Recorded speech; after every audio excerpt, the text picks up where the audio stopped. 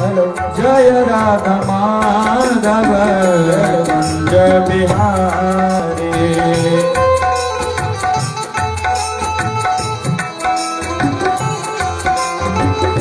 जय राधा माधव, कुंज बिहारी। जय राधा माधव, कुंज बिहारी। जय राधा माधव। बिहारी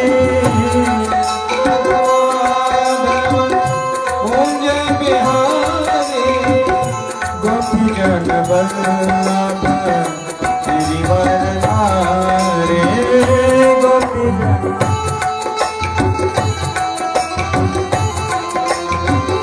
गोपी जन वल्लभ गिरिवर धारे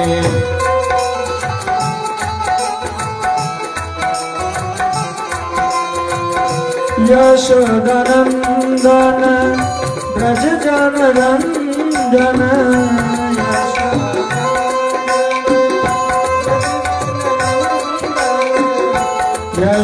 यशोदनन्दन ब्रज जन रञ्जन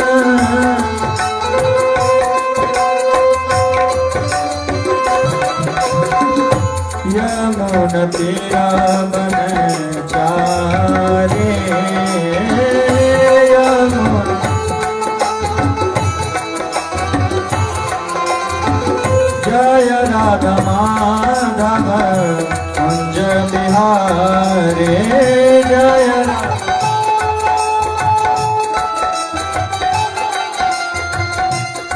कृष्ण हरे कृष्ण कृष्ण कृष्ण, हरे हरे। हरे राम हरे राम राम राम, हरे हरे।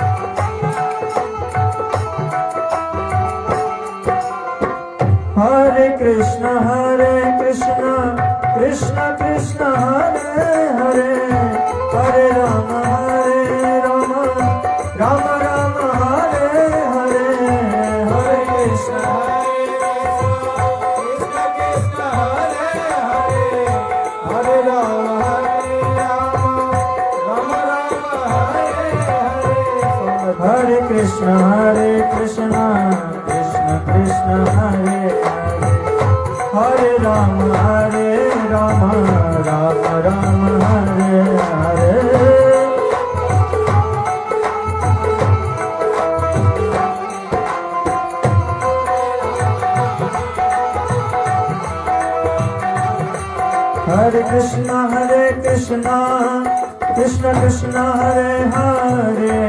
हरे राम हरे राम राम राम, हरे हरे। हरे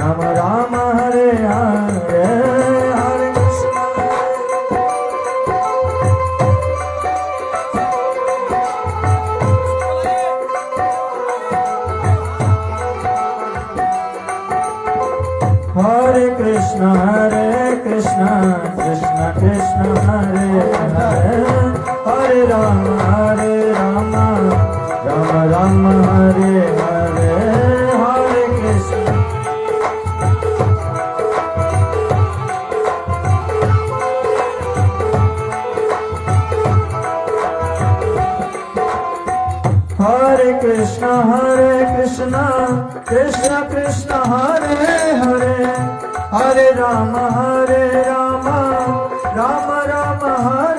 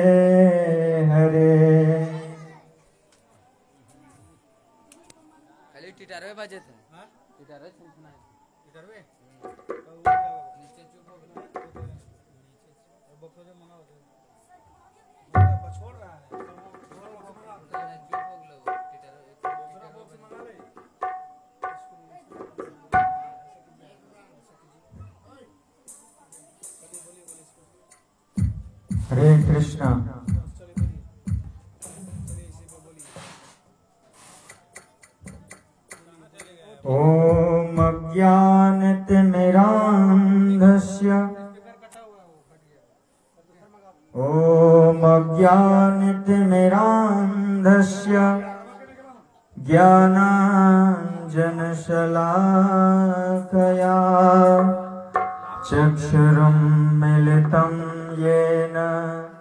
तस्मै श्रीगुरुवे नमः। वन्देऽहं श्रीगुरुः। श्रीयुद्पदकमलम् श्रीगुरुन् वैष्णवांश श्रीरूपं साग्रजातम् सहगणरघुनाथान्वितं तं सजीवम्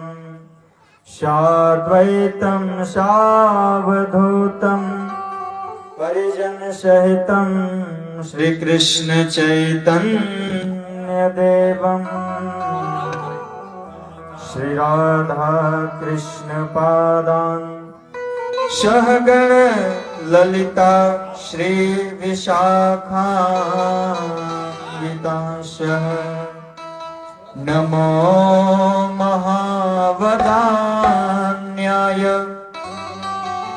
कृष्णप्रेमप्रदायते कृष्णाय चैतन्य।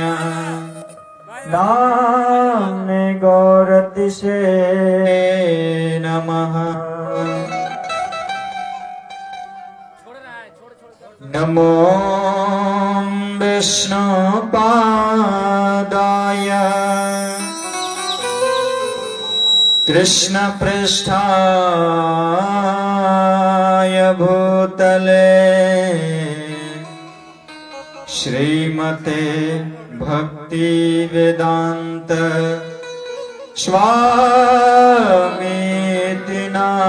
સ્વામીતિનામિને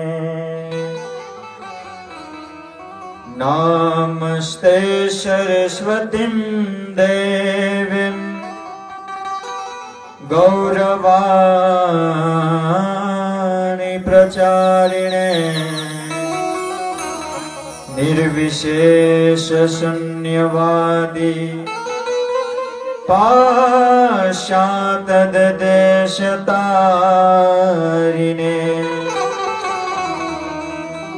हे कृष्ण करुणा सिन्धु दीनबन्धो जगत्पते गोपेश गोपिका कान्त श्रीराधाकान्त नमस्तु ते। तप्त काञ्चन गौराङ्गे श्रीराधे वृन्दावनेश्वरी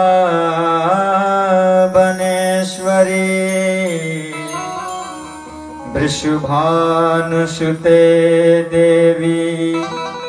प्रणमामि हरे प्रिय। नाम संकीर्तनं यस्य सर्वपापप्रणाशनम् प्रणाम दुःखहरीशमनस् तं नमामि हरे प्रिये। जय श्रीकृष्ण चैतन्य। प्रभो नित्यानन्द। श्री अद्वैत गदाधर श्रीवासादि गौर भक्त वृंद सभी लोग दोनों हाथ ऊपर करें और मेरे साथ भगवान के पवित्र नाम जो हमने कल बताया कि ये मंत्र ही नहीं, महामंत्र है। यहाँ तक कि मैं कल ये भी कहा कि जैसे सारी नदियाँ गंगा जी में जाकर मिल जाती हैं तो वो गंगा के समान ही हो जाती है, पूर्ण रूप से गंगा हो जाती है। ठीक उसी प्रकार भक्तों, ये मंत्रों का सागर है जिसको महामंत्र कहते हैं। तो भगवान जिसको हाथ दिए हैं और जिनको हाथ नहीं दिए हैं, वो नीचे रखेंगे। और जिनको भगवान हाथ दिए हैं और हाथ ठीक है, काम कर रहा है, वो उठाएँगे और जिनका नहीं काम कर रहा है, वो नीचे रखेंगे। हरे कृष्णा हरे कृष्णा कृष्णा कृष्णा, हरे हरे हरे राम हरे राम राम। हरे कृष्णा हरे कृष्णा। कृष्णा कृष्णा, हरे हरे। हरे राम हरे राम। राम राम, हरे हरे। हरे कृष्णा, हरे कृष्णा कृष्णा हरे हरे।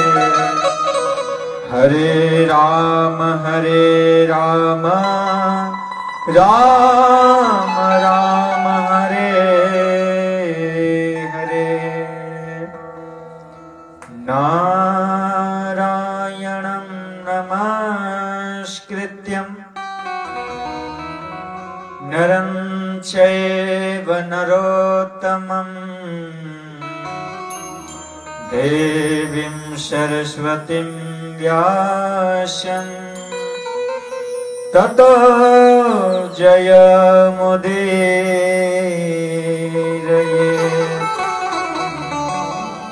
नष्टप्रायेषु अभाद्रेषु नित्यं भागवत सेवया। भगवती उत्तम श्लोके। भक्तिर भवति नैष्ठिकी। हरे कृष्णा। तो आप सभी भक्तों का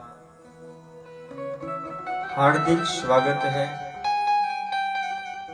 हिंदू वर्ष नवरात्र दिवस जो चल रहा है, आज उसका षष्ठम दिवस है, जिसको छठी भी लोग कहते हैं और छठ भी मनाते हैं। बहुत धूमधाम से छठ मनाया जाता है। और श्रीमद् भागवत का द्वितीय दिवस है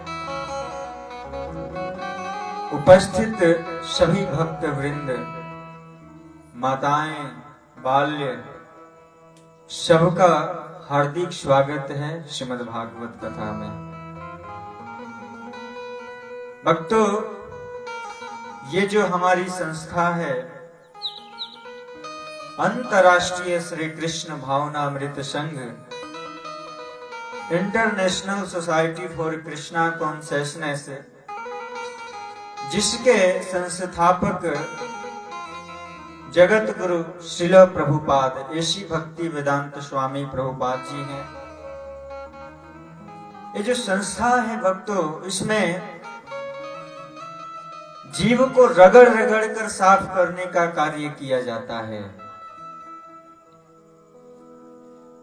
क्योंकि मलिन मोचनाम पूषाम जल स्नानम दिने दिने सखीत गीत मृत स्नानम संसार मलनाशनम। हमारे शरीर के अंदर मैल है, लेकिन हमारे मन, बुद्धि, चित्त में भी मैल भरा हुआ है। आपको इतना ज्ञात होना चाहिए कि कुर्सी पर किसको बैठना चाहिए? जो ज़मीन पर ना बैठ सके, उसको कुर्सी पर बैठना चाहिए। जो पूर्ण रूप से स्वस्थ हैं, उनको अधिक से अधिक ज़मीन का लाभ लेना चाहिए। जो वृद्ध हैं, रोगी हैं, उनको कुर्सी पर बैठना चाहिए। सुनने के बाद भी ना समझे तो उसे क्या कहा जाएगा?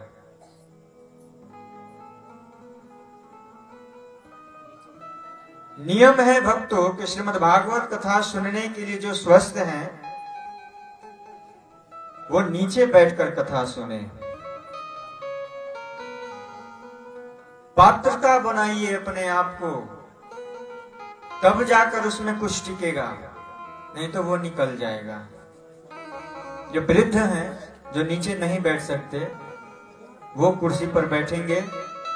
जो युवा हैं, स्वस्थ हैं, मस्त हैं, वो भूमि पर बैठकर भागवत कथा सुने। इसका बहुत बड़ा लाभ है भक्तों। पहला लाभ क्या है? कि हम जो कुछ भी कहेंगे ना, वो यहाँ से यहाँ आएगा। हृदय में आएगा और वो जीव फिर क्या करेगा? अपने आप में परिवर्तित करेगा। हमने भगवत गीता का यह श्लोक लिया। मलिन मोचनाम पूषाम हम रोज मल त्याग करते हैं। लेकिन हमारे मति, हमारे बुद्धि, हमारे चित्त में जो मल है, उसको साफ़ करने का मात्र एक ही उपाय है, वो है भगवान का नाम। श्रीमद भगवत गीता, श्रीमद भागवतम रामायण, यही है जो रगड़ कर साफ़ करने का कार्य करेगा। नहीं तो हम क्या हैं? अज्ञान हैं। और अज्ञान रूपी, अंधकार से निकलकर ज्ञान रूपी प्रकाश में जाने के लिए गुरु की आवश्यकता होती है। और वो गुरु कौन है? कृष्णम बंदे जगत गुरु। वो इस संसार के गुरु हैं। मालिक हैं, भगवान हैं। वो कौन है? कृष्ण। कृष्णम बंदे जगत गुरु। इस संसार के बंदनीय हैं। और वो कौन है? कृष्ण है।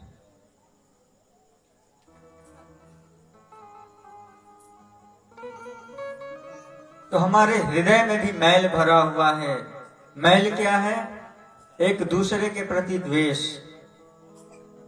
किसको कैसे बर्बाद कर दें? किसको कैसे मदिरा पान करना सिखा दें?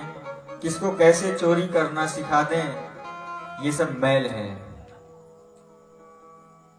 और लेकिन जब वही व्यक्ति भगवत कथा में आकर बैठता है तो वो मैल श्रृणुवताम मात्र सुनने से उसी क्षण नष्ट हो जाता है।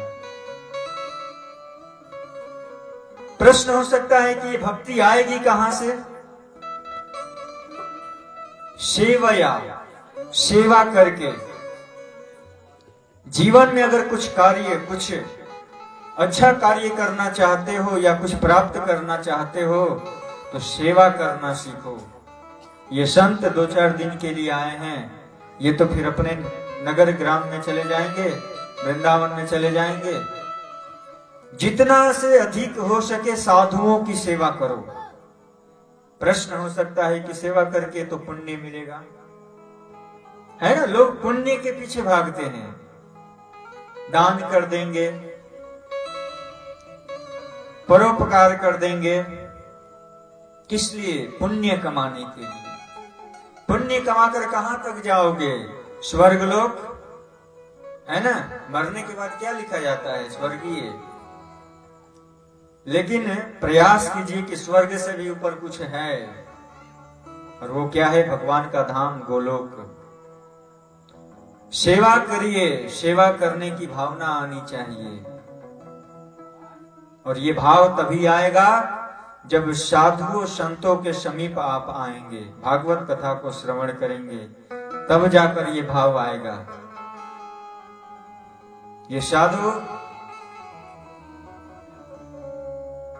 आपके घर में, आपके ग्राम में किस लिए आते हैं? आपके घर के दुख कष्ट को दूर करने के लिए। तो जितना से जितना हो सके सेवा करिए। अवहेलना न करें। और सेवा करके प्राप्त क्या करना है? पुण्य नहीं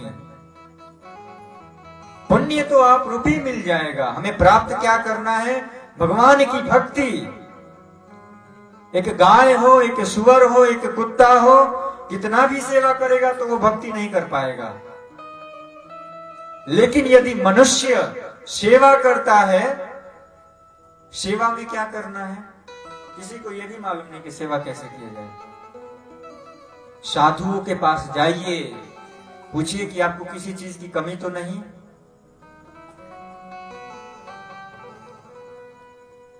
अगर आपके ग्राम से, आपके नगर से कोई साधु दुखी होकर जाए तो समझिए कि विपत्ति और बढ़ गया।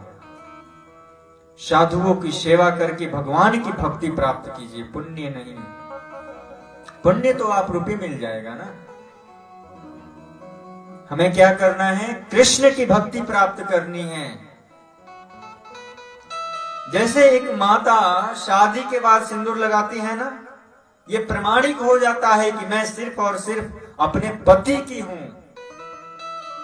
ठीक उसी प्रकार से ये जो हमारा तिलक देख रहे हैं, ये तिलक कोई साधारण नहीं है भक्तों।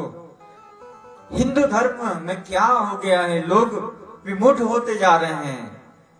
लोग अनेक प्रकार की भावना लेते हैं कि अगर मैं तिलक लगा लूँगा तो लोग हंसेंगे। अनेक प्रकार की ताना मारेंगे। धोती पहन के चलूँगा, लोग हमारी बेइज्जती कर देंगे। लेकिन हमारा वास्तविक हिंदू धर्म यही है कि अपने गौरीय संप्रदाय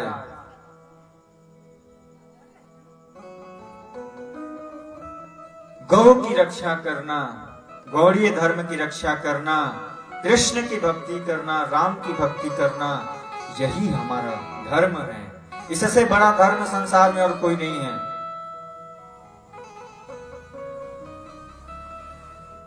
कुछ समय तक ये चलेगा क्योंकि आप लोग को हम दो दिन से देख रहे हैं। ये घर घर क्या है? अंधकूप के समान है। वनम गतो या हरिमाश्रयेत यहाँ तक कि प्रहलाद महाराज अपने पिता हिरण्यकश्यप को कह रहे हैं कि जिस महल को आप पकड़ के रखे हैं, एक दिन ये महल आप छोड़ देंगे। तत्साधु मन्ये असुर वर्य देहिनाम सदा समुदयाद नदिया गृहत्वा। हित्वात्मपात गृहयंध कूपम, वनम गतो यत् हरिमाश्रयेत पिताजी हम यही नम्र निवेदन करेंगे कि आप वन में जाइए और वन में नहीं जा सकते हैं तो इस महल में ही रहकर भगवान का नाम लीजिए। न पैसा लगने वाला है, न टैक्स लगने वाला है। आज श्रीलंका में पानी पाँच सौ रुपया लीटर बिक रहा है। आप सौभाग्यशाली हैं कि आपको पानी फ्री में मिल रहा है। टैक्स लग रहा है, पैसे की खर्च हो रही है, लेकिन बोलने में क्या खर्च जाता है? हरे यानी सीता। हरे रामा हरे रामा हम जो कहते हैं ना, हरे यानी सीताराम सीताराम जो बोलते हैं, हरे में श्रीमती राधा रानी कृष्ण, स्वयं कृष्ण, जो सबको आनंद देते हैं। और हरे का एक और अर्थ होता है जिसको कहते हैं मैया सीता।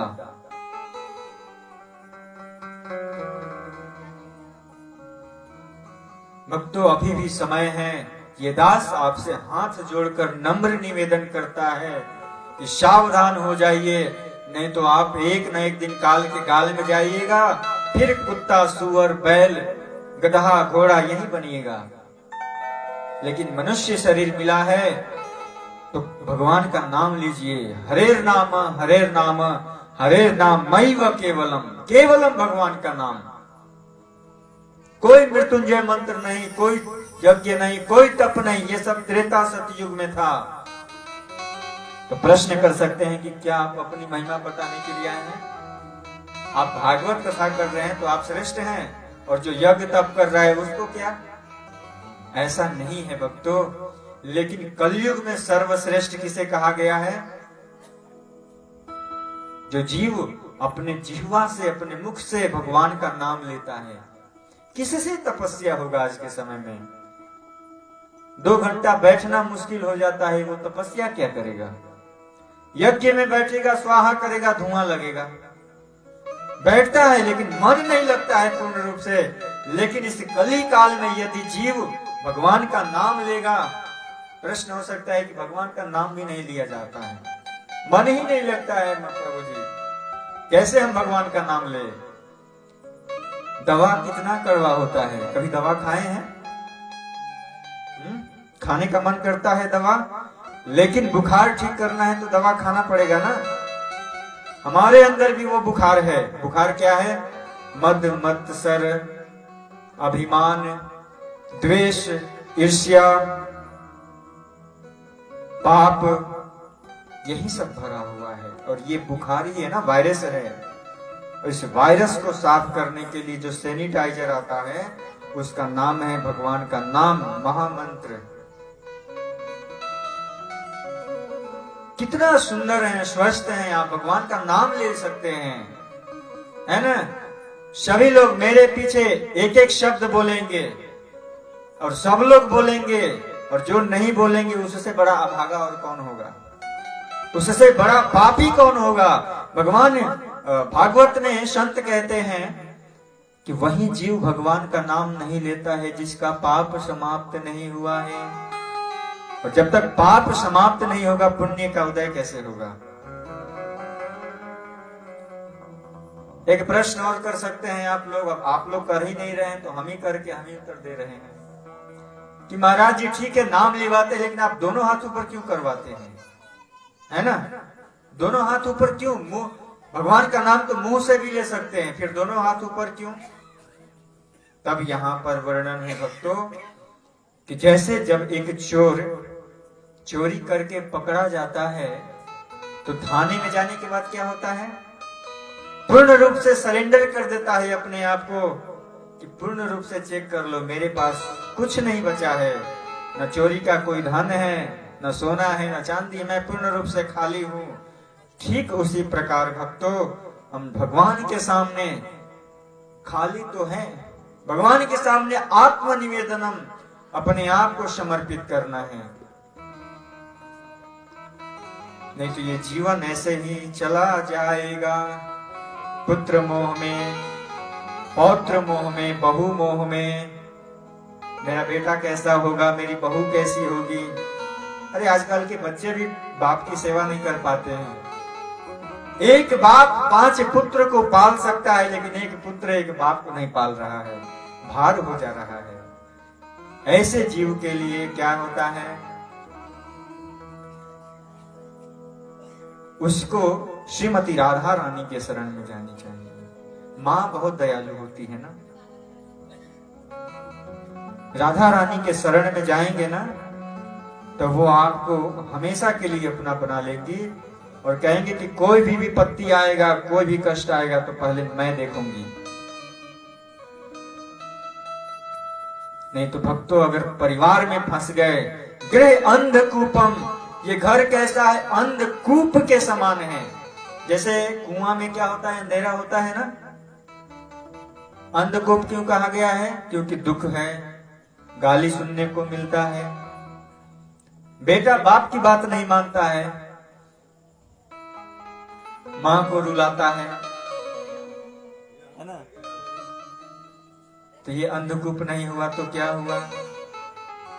मिलता है सच्चा सुख केवल भगवान तुम्हारे चरणों में। हे ठाकुर जी, इस संसार में चारों तरफ़ गए, सुख की खोज में, लेकिन सुख तो मिला नहीं, दुख ही दुख मिला, लेकिन जैसे ही आपकी भगवत कथा में आकर बैठे, भगवान की कथा को श्रवण किए, आह, क्या आनंद मिला। नहीं तो ये जो शरीर है ना, ये जो उम्र है, निकलती जाएगी। बहुत सुंदर एक भजन है। चली जा रही है। उम्र धीरे धीरे। चली जा तालियों की सेवा कीजिए। चली जा रही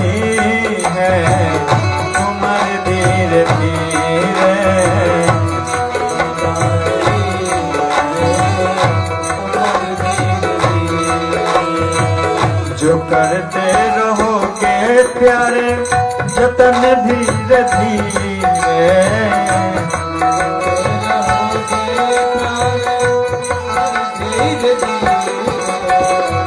जो करते रहोगे प्यारे, जतन धीरे धीरे भैया, चले जा रहे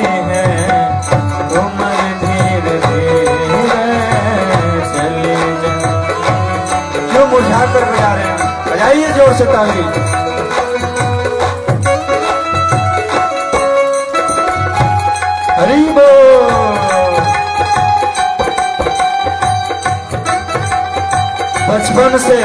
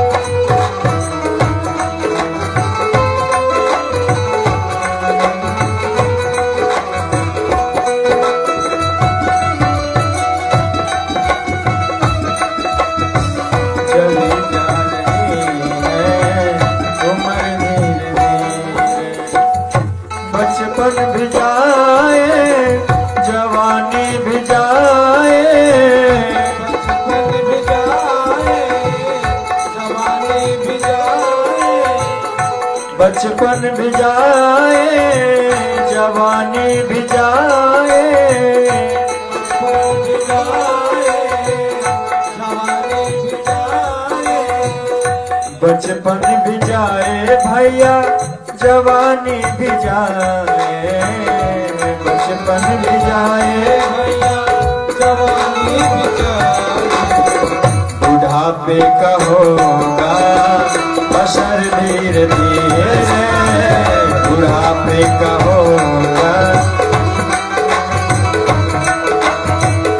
पल पल वो आठो पहर धीरे पल पल वो आठो धीरे धीरे भैया।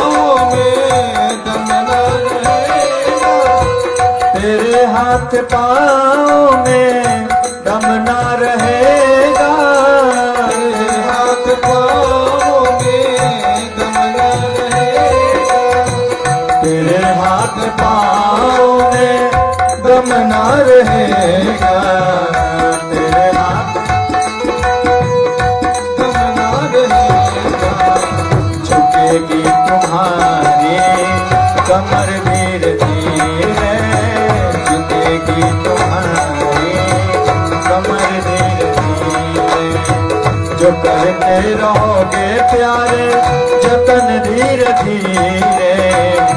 पल पल हुआ हाथों पहर धीरे धीरे, भैया, चली जा रही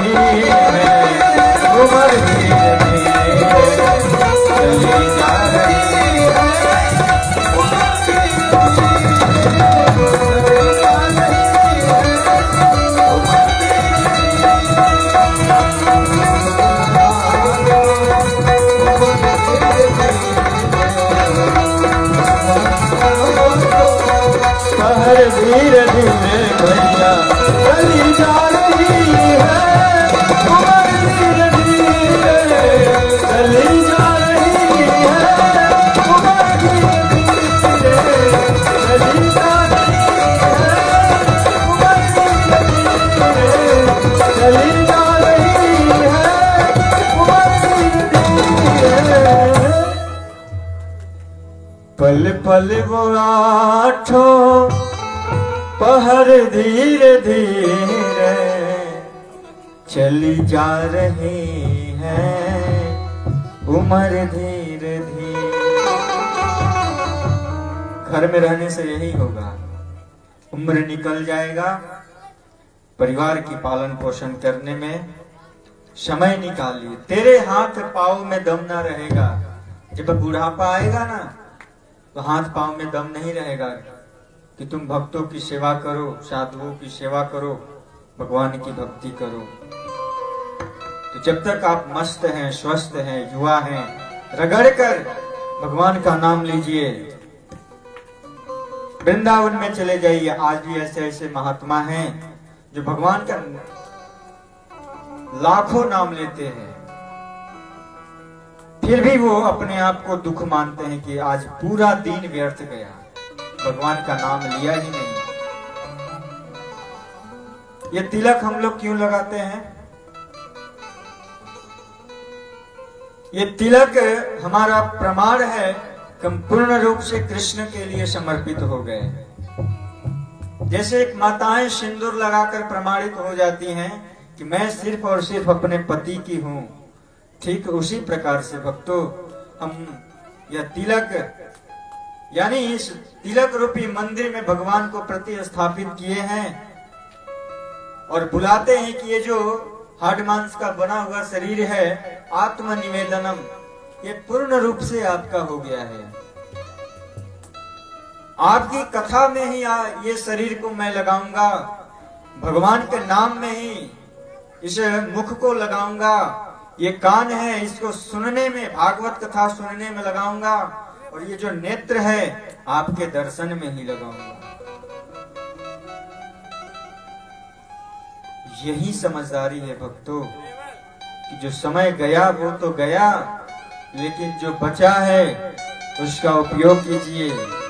नहीं तो जैसे उम्र जा रही है ना, उम्र जा रही है, मृत्यु समीप आ रही है। ये तो आप लोगों को समझाने के लिए 45 मिनट जो भी मैं कहा ताकि कल से आप लोग हमारे पीछे इस महामंत्र को बोलेंगे। अभी हम बोलेंगे एक एक शब्द आप भी पीछे से बोलने का प्रयास करें और कल तक याद होना चाहिए कल सबको बोलना है। सभी लोग दोनों हाथ ऊपर कीजिए। हरे कृष्णा। हरे कृष्ण। हरे कृष्णा। कृष्णा कृष्णा। आप लोग प्रसाद लिए हैं कि नहीं? पीछे वाले भी बोलिए इधर बगल वाले भी बोलिए। हरे कृष्णा। कृष्णा कृष्णा। हरे हरे। हरे रामा। हरे रामा। हमारी निगाहें सबको देख रही है। कौन बोल रहे हैं, कौन नहीं बोल रहे हैं। सब लोग बोलिए, रामा रामा। हरे हरे। एक बार और, हरे कृष्णा। हरे कृष्णा। कृष्णा कृष्णा। हरे हरे। हरे रामा। हरे रामा। रामा रामा। हरे हरे। कल तक याद होना चाहिए। तो आइए श्रीमद भागवत के प्रथम दिवस में हम प्रवेश करते हैं। ये कुछ शब्द, कुछ जो हमने वार्तालाप किया, ताकि आप लोग समझें। भागवत भक्ति की महिमा क्या है? श्रुत जी से शौनकादिक ऋषियों का छह प्रश्न किया गया है। जिसमें सबसे पहले मंगलाचरण है। वेद का ही ये मंत्र है, अथातो ब्रह्म जिज्ञासा। ये ब्रह्म सूत्र का पहला श्लोक है, अथातो ब्रह्म जिज्ञासा। और दूसरा श्लोक क्या है? जन्माद्यस्य यतोन्व्यादितरत। शर्थेष्वभिज्ञस्वरा तेने ब्रह्म हृदय आदि कवि मुह्यन्ति यत् शूरय तेजो वारि मृदां यथां विनिमयो। यत्र त्रिशर्गो मृषा धाम्ना स्वेन सदा निरस्ते कुरुकम् सत्यं परमधीमहि।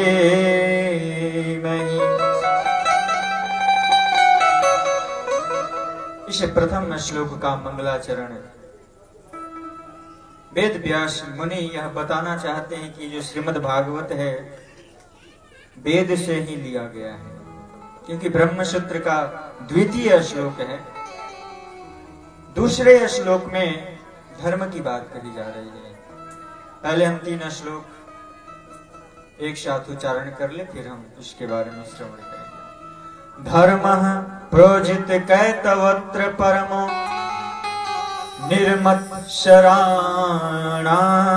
शताम् वैद्यं वास्तवमत्र वस्तु शिवदम् तापत्रयोन्मूलनम् श्रीमद्भागवते महामुनिकृते किं वा परेश्वर सत्यो हृद्यवरुद्य तत्र कृतभिः शुश्रुभे तत् ये श्रीमद् भागवत के प्रथम स्कंद, प्रथम अध्याय का द्वितीय श्लोक है। तृतीय श्लोक में बताया गया है कि श्रीमद् भागवत क्या है? है ना? प्रश्न बहुत आते हैं। हर बात बात पर प्रश्न खड़ा होता है। बिना प्रमाण के आजकल लोग कुछ समझने वाले नहीं तो श्रीमद् भागवत क्या है? तो तीसरे श्लोक में लिखते हैं निगम कल्प तरोर गलितम फल। शुक मुखादृत द्रव्य पिबत भागवतम रसमालय। मोरहो रसिका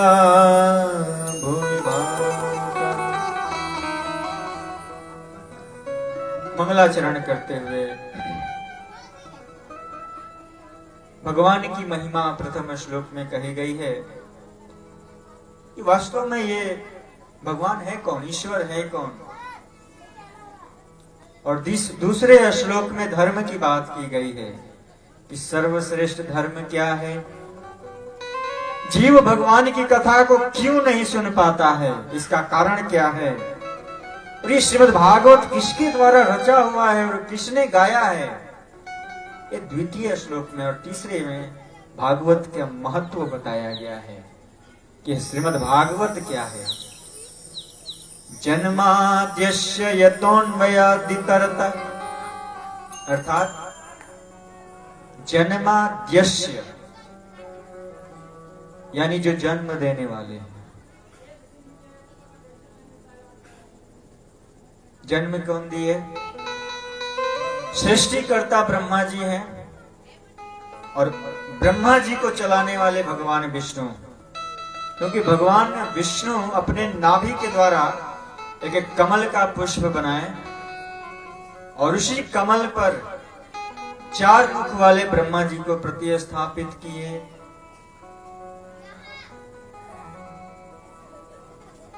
जन्माद्यस्य यतः। यानी जो इस जगत की सृष्टि करता है, जो जन्म देता है। और जन्म देने के बाद क्या करता है? जो पालन करता है। और जैसे ही देखता है कि अब जन्म भी कर रहे हैं, पालन हम ही कर रहे हैं, लेकिन लोग मद में आकर अनेक प्रकार के पाप में लग गए हैं, मांस खाने लगे हैं, मछली खाने लगे हैं, ये खाने वाली चीज़ नहीं है भक्तों। जो मांस खाता है, मदिरा पान करता है, जुआ खेलता है, उसको नरक में ढकेला जाता है। नरक में जो मदिरा पान करता है, उसको अंगार जो आग का अंगार होता है ना, उसको जूस बना करके उसके मुँह में दिया जाता है। सोचिए, धधकती आग की वो लेप। इस मुख मिला है, मुख से आप अनार का जूस पीजिए, आम का जूस पीजिए। जिसका नाम ही है शराब। जो सड़ा गला कर बनाया जाता है। मूर्ख ये भी जानते हैं कि इस इसको पहले सराया गया है सड़ गया है फिर गलाया गया है फिर फैक्ट्री में बनाया गया है फिर भी लोग पीते हैं। ठीक उसी प्रकार जैसे एक जो गुटखा खाने वाले होते हैं उस पर क्या लिखा है? चेतावनी। समझ जाइए। किसको खाने से कैंसर हो सकता है? स्वास्थ्य के लिए हानिकारक है। स्वास्थ्य के लिए हानिकारक है।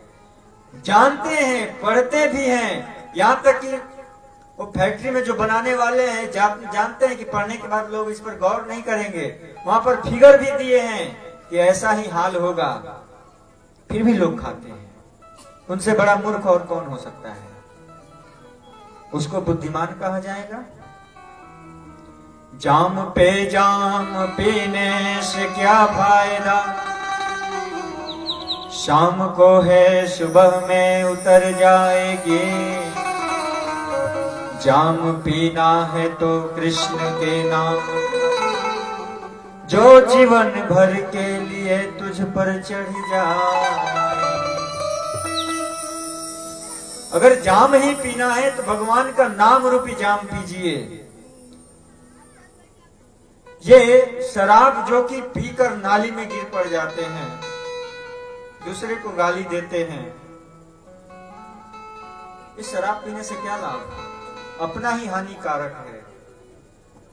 इसलिए अगर जाम ही पीना है तो भगवान के नाम का पान करें। तो जो जन्म देते हैं, पालन भी करते हैं और देखते हैं कि उत्पात बढ़ गया है पृथ्वी पर। तो फिर काल कवलित भूकंप के द्वारा, आंधी के द्वारा, वर्षा के द्वारा क्या करते हैं? समाहित कर लेते हैं। भूकंप आने से कई घर तबाह हो जाते हैं।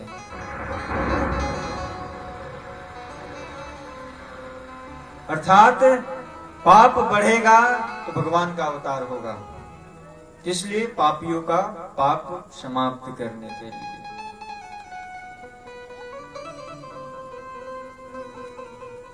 इसलिए भक्तों, सतर्क हो जाइए।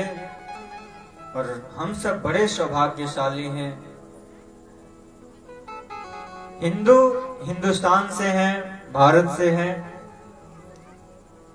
जिस भारतवर्ष, जिस भारत देश में हमारे मर्यादा पुरुषोत्तम श्री रामचंद्र जी का अवतार हुआ, और कुछ क्षण कुछ समय, कुछ दिन ही बचा है, जिसको रामनवमी कहते हैं ना भगवान, मर्यादा पुरुषोत्तम श्री राम जी का अवतार होगा। इस देश में रहकर, इस भारतवर्ष, जिसको सोने की चिड़िया कहा जाता है, लोग पाप करते हैं। आगे क्या कहते हैं? सार्थेश्व भिज्ञ स्वराट, जो स्वतंत्र हैं जिनका रूप अद्भुत है, देखने में अत्यंत मोहित लगते हैं। तेने ब्रह्म हृदय आदि कवियो, जिन्होंने ब्रह्मा को अपने मन से एक कमल के पुष्प पर प्रतिस्थापित किया।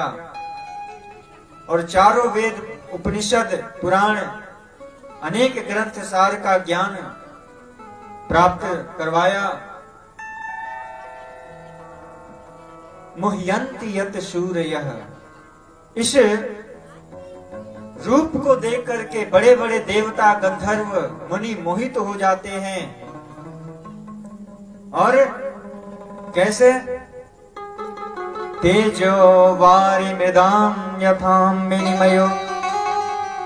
तेज का अर्थ होता है भक्तों प्रकाश, वारी का अर्थ होता है जल, और मृदा का अर्थ होता है मिट्टी। अगर आप मरुस्थल में जाते हैं तो एक मृग जल की तलाश में भ्रमण करते करते वो अपने प्राण को पखेरु प्राण गवा देती है। ये हमें भी देखने को मिलता है। जब आप सड़क पर जाइए और भीष्म गर्मी का दिन हो तो लगता है कि कुछ दूर पर जल प्रति जल दिखाई दे रहा है। वस्तुतः वो जल नहीं है वो सूर्य के प्रकाश की प्रखर किरण परिवर्तित होता है तो ऐसा भ्रम होता है। वही आया है, तेजो वारी मृदाम यथा विनिमयो। यानी, हरि बोल, शांति बनाए रखिए। जैसे सूर्य जल का जल में और स्थल का स्थल में भ्रम होता है वैसे ही यत्र मृषा। ये संसार ठीक उसी प्रकार से, मृषा का अर्थ होता है झूठ। जहाँ पर ये जो संसार आप देख रहे हैं, ना बकसपुर पहले ऐसा था, और ना आगे ऐसा रहेगा, कुछ ना कुछ परिवर्तित होता रहेगा। जल में वारी का, वारी में जल का, जल और तेज का भ्रम होता रहता है ठीक उसी प्रकार हम भी भ्रमित हो गए हैं। भ्रमित क्या हुए हैं? ये पुत्र मेरा है, ये घर मेरा है, ये पूरा प्रॉपर्टी, ये खेत हमारी है। लेकिन वो यहाँ तक भी जानता है कि कुछ नहीं है। न मेरा शरीर है, न मेरा कपड़ा है, न मेरा कुछ मकान है। तो वास्तव में ये शरीर किसका है? हमारा शरीर पाँच तत्वों से मिलकर बना है ना? चित्ती जल पावक गगन समीरा, पंच रचित यह अधम शरीरा। ये पाँच तत्वों से मिलकर हमारे शरीर का निर्माण हुआ है। और ये शरीर कैसा है? अधम है। अधम क्यों कहा गया है? क्योंकि नष्ट होने वाला है, नश्वर है। एक न एक दिन छिड़ होने वाला है। लेकिन हम इसी को वास्तविक मान गए हैं। कि ये मेरा अपना शरीर है। अमर तो होकर आए नहीं हो, अमृत पीकर तो आए नहीं हो। जिसका आदि होता है, उसका अंत भी होता है। आदि अर्थात जन्म और अंत यानी मृत्यु, जो जन्म लिया है, उसकी मृत्यु निश्चित होगी। और भगवान क्या है? अनादिरादि गोविंद सर्व कारण कारण है। वो सभी कारणों को जानने वाले हैं। और अनादि काल से हैं और अनंत काल तक रहने वाले हैं। वो कभी नष्ट नहीं होंगे। अनादिरादि गोविंद सर्व कारण कारण। यत्र गो मृषाम यही, जैसे प्रखर किरण से लगता है कि जल है, पर जल होता नहीं है। ठीक उसी प्रकार से भक्तों, ये संसार जो आप दिखाई दे रहा है, ये भी कुछ समय के बाद रहेगा नहीं, ये भी समाप्त हो जाएगा। धामनाश्वेन सदा निरस्त कुहकम सत्यम परम धीमहि। जैसे जगत स्वप्न सुषुप्त रूप से सृष्टि मिथ्या दिखाई देता है। मिथ्या क्यों दिखाई देता है? एक उदाहरण के स्वरूप हम बताते हैं। आप घोर नींद में सोए हुए हैं। अगर आपको स्वप्न हुआ कि आप राजा बन गए या स्वप्न में कोई शेर आकर आपको डरा दिया, आप तो अपने रूम में मस्त सोए हुए हैं, लेकिन स्वप्न में आपको क्या हो रहा है? भ्रमित हो रहा है, घबरा रहे हैं, परेशान हैं कि कहीं शेर ये मुझे खा न जाए। लेकिन शेर है नहीं, स्वप्न देख रहे हैं। ठीक भक्तों, ये जगत जो है ना, जो संसार दिखाई दे रहा है, ये स्वप्न की तरह है। जब इस शरीर से परमात्मा रूपी अंश जो आत्मा है, इस शरीर से निकलेगा, ये शरीर स्वप्न की तरह हो जाएगा। सदुपयोग कीजिए, भगवान का नाम लीजिए। एक बार और, हरे कृष्णा! हरे कृष्णा! कृष्णा कृष्णा! हरे हरे! हरे रामा! हरे रामा! राम राम। हरे हरे। इस नाम बाल भगवान सबसे ज़्यादा बोल रहे हैं। ये लोग बालक है ना भगवान के स्वरूप हैं। इन लोग का आवाज़ भी बढ़िया लग रहा है। क्योंकि ये लोग अज्ञान से परे हैं। इनके अंदर अज्ञान नहीं है ना भी अभिमान है ना किसी प्रकार का पद है ना मद है। लेकिन हम जैसे जैसे बड़े होते हैं, अज्ञानता हमारी बढ़ती जाती है। शर्माते हैं लोग। भगवान के नाम लेने में शर्माते हैं। क्या समय आ गया। सत्यम परम धीमहि। सत्य यही है भक्तों की, उस स्वप्न से उठिए और इस संसार को मिथ्या समझिए, झूठ समझिए। कि वास्तव में ये संसार में आए हैं तो रहेंगे, नहीं जाएँगे। यही सत्य है। ऐसे सत्य परम परमेश्वर ईश्वर का हम ध्यान करते हैं। दूसरे श्लोक में कहा गया है, धर्मो प्रोजित कैतवत्र परमो, निर्मत शराणाम शतम। अब यहाँ पर ये शब्द, ये मुख्य पॉइंट आ रहा है कि क्यों? भगवान की कथा को नहीं सुन पाते हैं। क्योंकि उनके अंदर से मत्सर मत्सर शब्द से ही मच्छर का उत्पन्न उत्पन्न हुए हैं। मच्छर बने हैं। मत्सर क्या है? झूठ बोलना, पाप करना, दूसरे को दुख देना, यही मत्सर है। तो निर्मत सराणाम शतम। धर्मो प्रोजित कैतवत्र परमो। सबसे बड़ा धर्म यही है श्रीमद भागवत, क्योंकि इसमें अधर्म का वर्णन नहीं किया गया है। ये विरक्त मुनि महात्मा संत के द्वारा रचित, वेद व्यास जी के द्वारा रचित यह श्रीमद भागवत है। इसमें पाप अधर्म का वर्णन नहीं है। ये धर्म रूपी है, धर्मो प्रोजित कहते वो पूर्ण रूप से धर्म इसमें स्थापित है। और निर्मत सराणाम शताम इसको कौन समझ सकता है? जिसके अंदर से ये तीन प्रकार का मत्सर त्रिताप समाप्त हो गया है। जो दूसरों को खुश होने से खुश हो, कोई आगे बढ़ रहा है, उसको देखकर कोई खुशी हो उसको मत्सर से परे कहा जाता है, यानी उसके अंदर किसी प्रकार का कोई मत्सर नहीं है। और जो इसको जान लेता है वैद्यम वास्तव मत्र वस्तु शिवदम जिस ग्रंथ को, जो श्रीमद भागवत को जान लेता है, वास्तविक का बोध होता है तो शिवदम शिवदम का अर्थ होता है कल्याण हो जाता है उसका। कल्याण क्यों नहीं होगा? क्योंकि श्रीमद भागवते महामुनि कृते श्रीमद भागवत कोई साधारण व्यक्ति नहीं लिखा है, कोई लेखकार नहीं लिखा है, ना कोई लेखक लिखा है।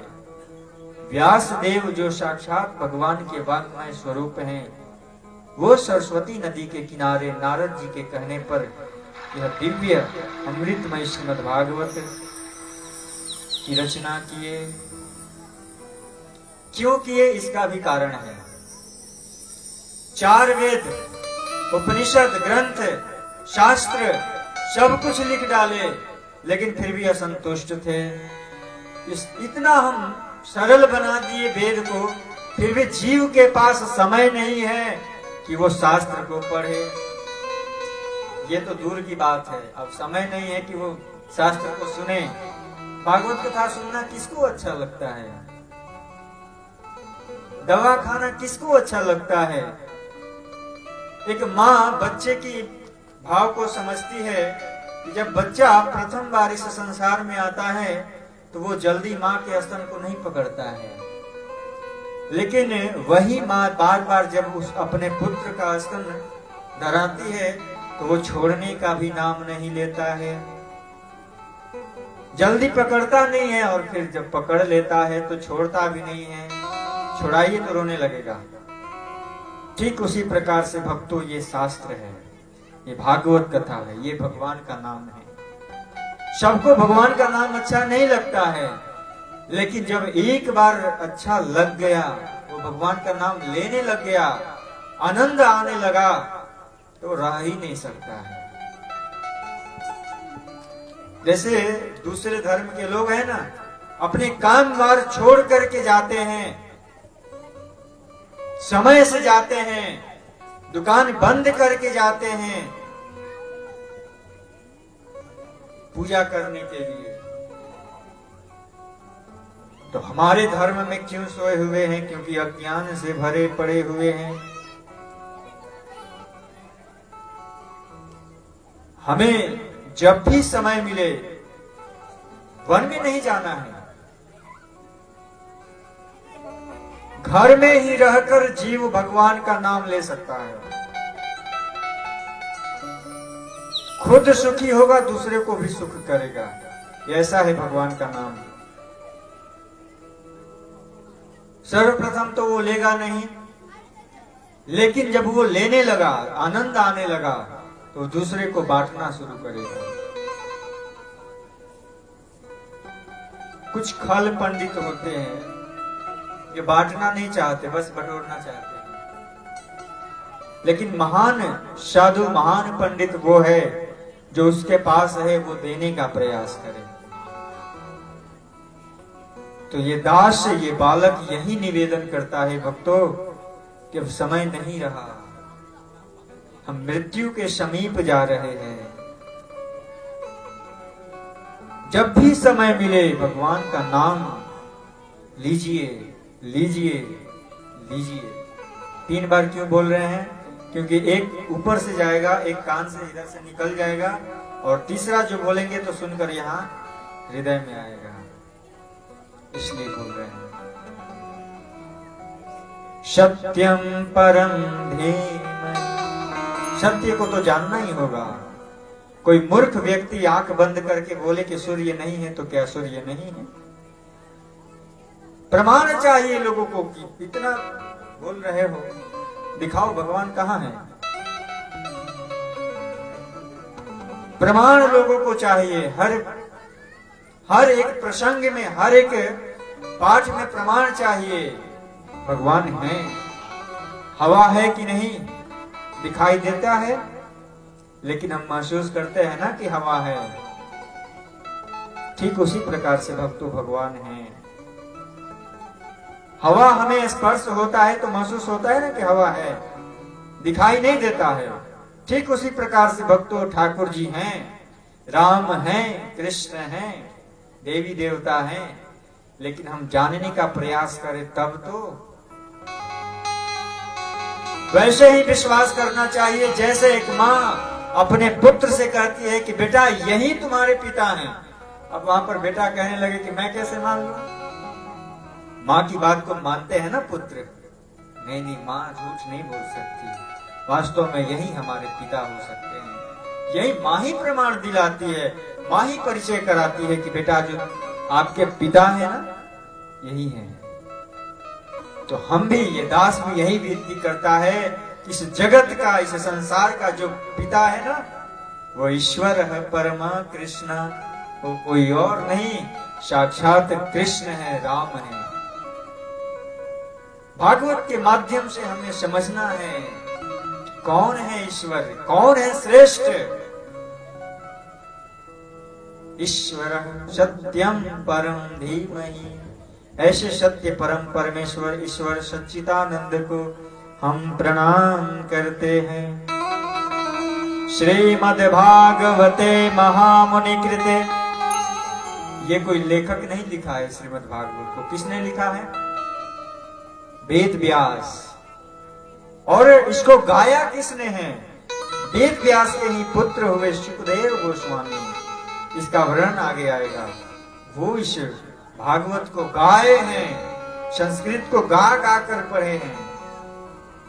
जैसे हम अभी गा गा कर कह रहे हैं ना, वैसे ही सुखदेव गोस्वामी जी गा गा कर भागवत कथा पढ़े हैं, श्रवण किए हैं और परीक्षित जी महाराज को सुनाए हैं।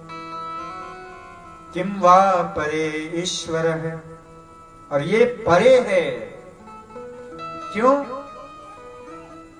यहाँ पर जो दो, श्लोक है ना ये हम सभी जीवों के ऊपर लागू होता है। सत्य हृदय वरुद्ध तत्र कृत भी। शुश्रुभि तत्क्षणात्। आखिर हम हमें भागवत कथा सुनने की इच्छा क्यों नहीं होती? हमें वो भाव, वो इंटरेस्ट क्यों नहीं आता? क्योंकि हम लालसा नहीं करते, इच्छा नहीं करते।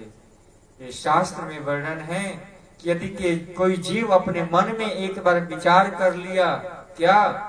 कि हमें भागवत कथा सुनने जाना है। माँ देवी के प्रांगण में बहुत सुंदर रामनवमी के अवसर पर भागवत कथा का आयोजन किया है। किया गया है। यदि कोई व्यक्ति अपने घर से मन में ये विचार करे कि हमें भागवत कथा सुनने जाना है, उसी समय सत्य कृत भी, उसी समय भगवान उसके हृदय में आकर बंदी बन जाते हैं। सोचिए, अगर आप सिर्फ़ मन में विचार करते हैं कि हमें भगवान की कथा सुननी है, सुनने मात्र से ही भगवान उस जीव के हृदय में आकर अवरुद्धते बंदी बन जाते हैं। शिष्य भी तत्क्षणात सुनने की इच्छा तो करे, सुनने की लालसा तो रखे। उसी क्षण, उसी समय भगवान श्री हरि उसके हृदय में आकर बंदित हो जाते हैं। कैसे? कैसे बंदित हो जाते हैं? जैसे एक पतिव्रता स्त्री पत्नी पति धर्म का पालन करते हुए पति को अपने बस में कर लेती है। ठीक उसी प्रकार ये भक्त तिलक लगा करके, तुलसी का कंठी पहन करके और भगवान का नाम लेकर के भगवान को अपने बस में कर लेते हैं। इतनी शक्ति है भगवान के नाम में। दुर्वारा दुर्वासा ऋषि जी को समझाते हुए कहते हैं, साधव हृदय मह्यम और इतना ही नहीं अहम भक्त पराधीन। मैं भक्तों के पराधीन हूँ। मैं एक क्षण भी भक्त के बिना नहीं रह सकता और भक्त हमारे बिना नहीं रह सकता है। भगत के बस में है भगवान। कली काल की जो जीव है ना प्रभु जी, वो पत्नी के बस में लेकिन जिसे ये बोध हो गया कि नहीं, भागवत, भगवान और भग, भक्ति और भगवान का नाम श्रेष्ठ है। भगवान उसको अपने बस में कर देते हैं। भगत के बस में है भगवान।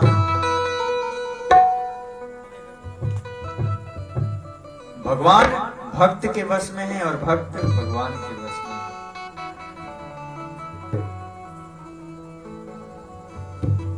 और हमें भी यही प्रयास करना है कि हम जितना जल्द हो सके भगवान को अपने बस में करें।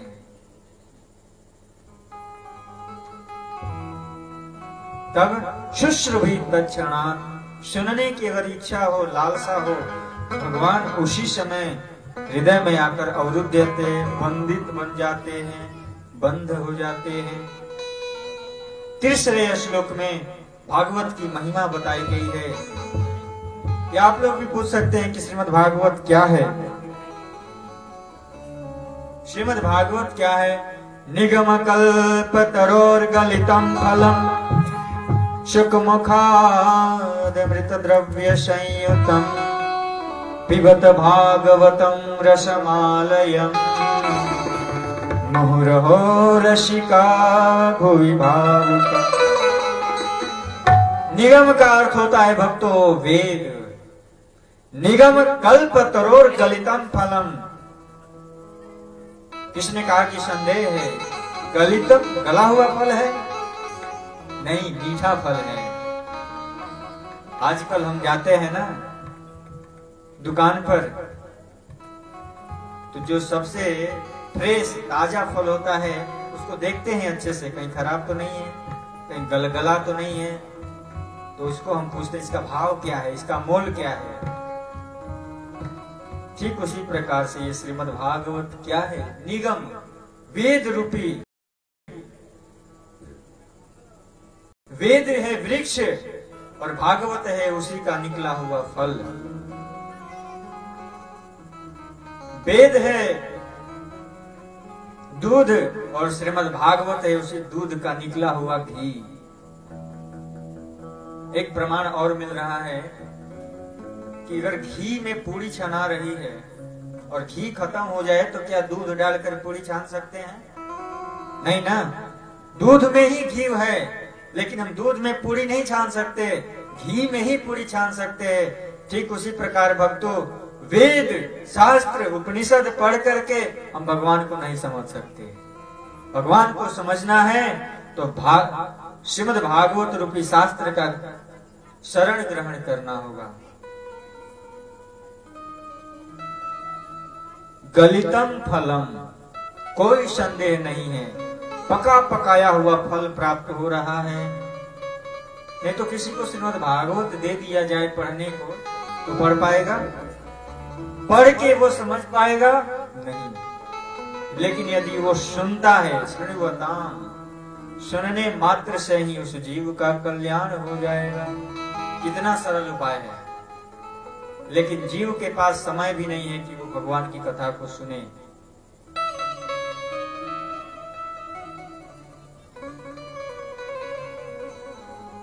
और जब वो जीव बरसाने में जाता है, राधा रानी के महल को देखता है तो उसका मन पवित्र हो जाता है। और क्या गाता है?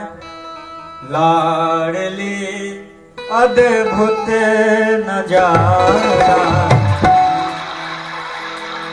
बरसाने में मान लीजिए बकसपुर ग्राम से कोई व्यक्ति ट्रेन पकड़ करके मथुरा वृंदावन जाए और वहाँ जाने के बाद वो यदि बरसाने में चला जाए तो राधा रानी के रूप को देखकर देखता ही रह जाएगा।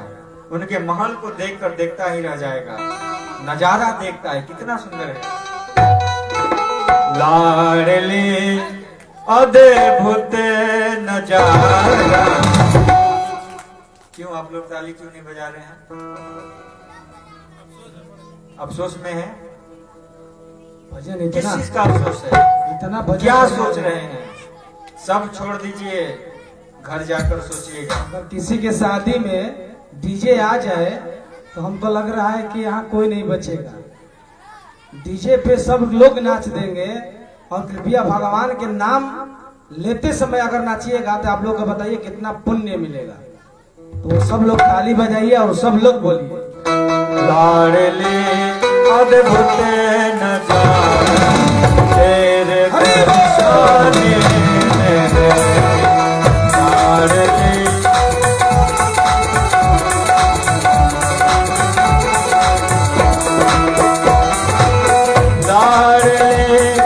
अद्भुत नज़ारा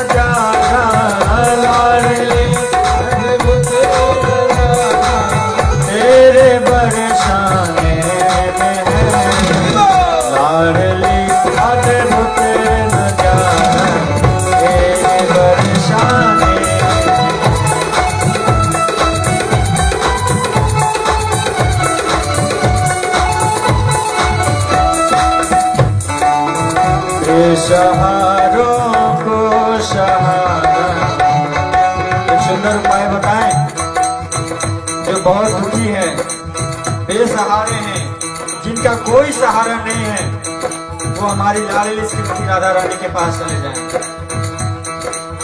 वहाँ जाने के बाद जिनका कोई सहारा नहीं है, निसहाय है, असहाय अवस्था में है, उनकी सहारा श्रीमती राधा रानी है। बेसहारों को सहारा, तेरे बरसाने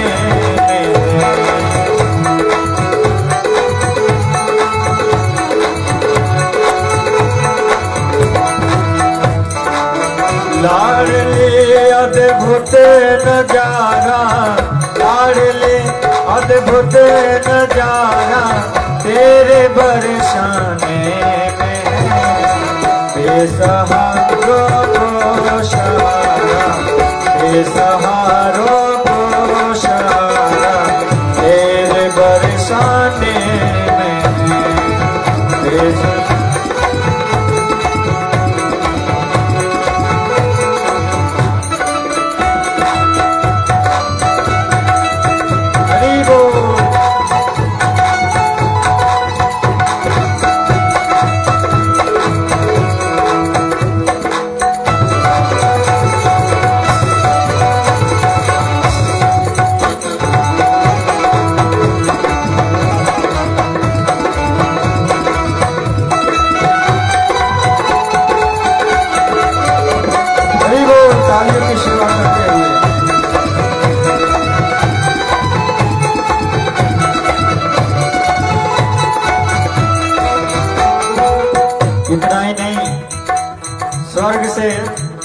देवता लोग भी आते हैं।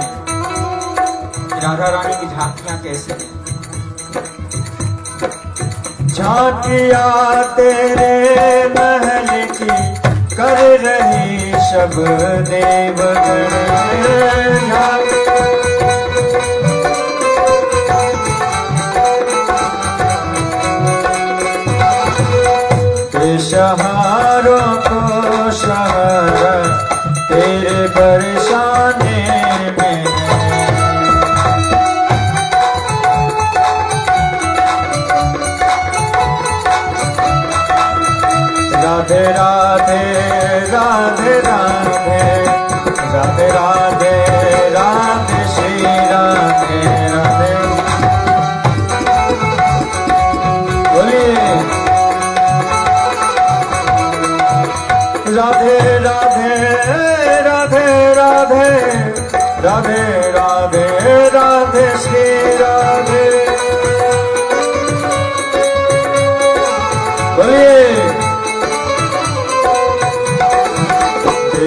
सहारा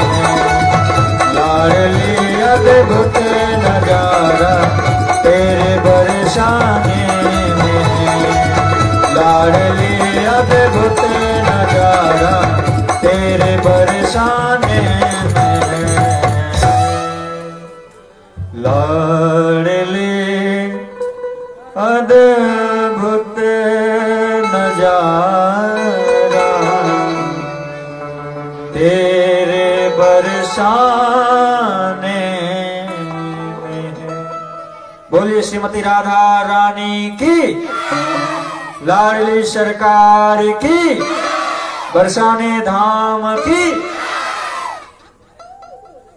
शुक मुखाद मृत द्रव्य संयुतम यह अमृत कैसे हो गया श्रीमद भागवत तब यहाँ पर कहते हैं सुख मुखाद सुखदेव गोस्वामी के मुख से जब यह श्लोक गाया गया तो यह अमृत के समान हो गया। उदाहरण स्वरूप, आप लोगों ने देखा होगा कि अमरूद का पेड़ हो। हरि बोल। शांति। ओम शांति ही शांति ही शांति ही।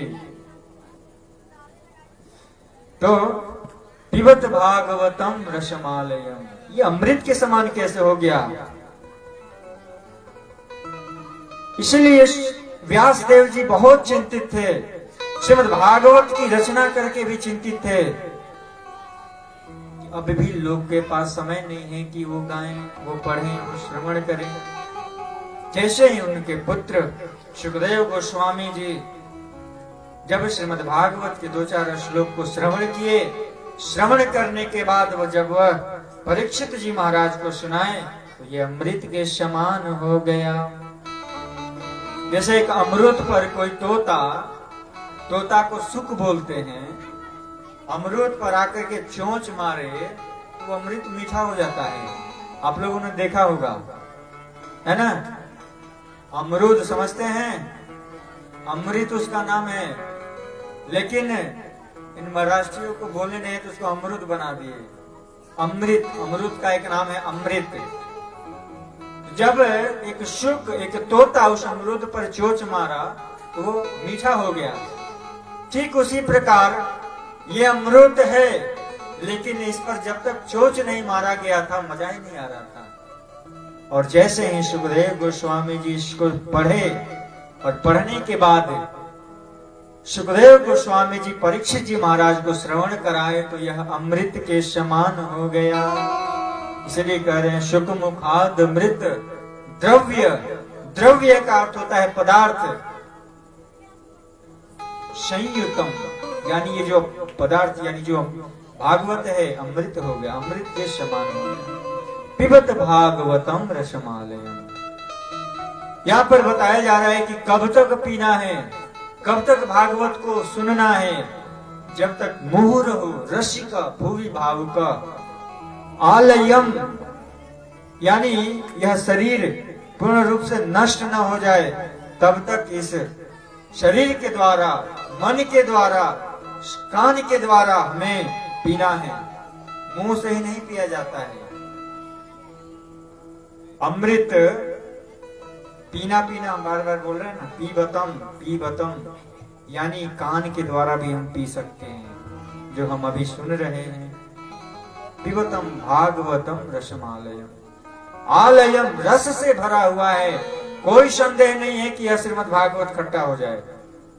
क्योंकि सुखदेव गोस्वामी जी चोच मार चुके हैं। इसलिए यह भागवत अमृत के समान और मीठा हो गया है।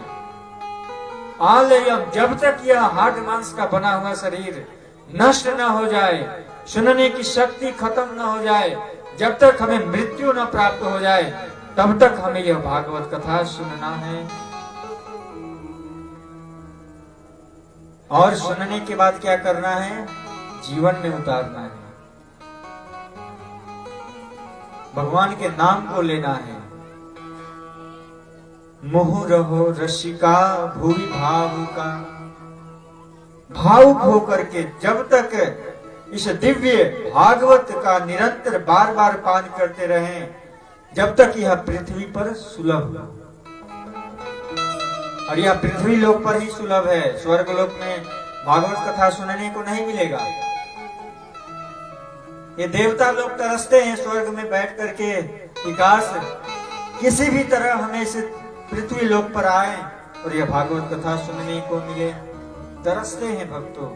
आप बहुत सौभाग्यशाली हैं जो यह दिव्य श्रीमद् भागवत आसानी से सुलभ प्राप्त हो रहा है। यहाँ से कथा प्रारंभ होता है, सभी लोग ध्यान से सुनना प्रारंभ करें। हमने तीन श्लोक का वर्णन किया। प्रथम श्लोक में भगवान का स्वरूप का वर्णन है। उन्होंने कैसे सृष्टि की रचना की? इस जगत की सृष्टि, उत्पत्ति, पालन और कैसे संहार की? आगे धर्म प्रोजित कै तवत्र परमो। सबसे बड़ा धर्म क्या है? सबसे बड़ा शास्त्र क्या है?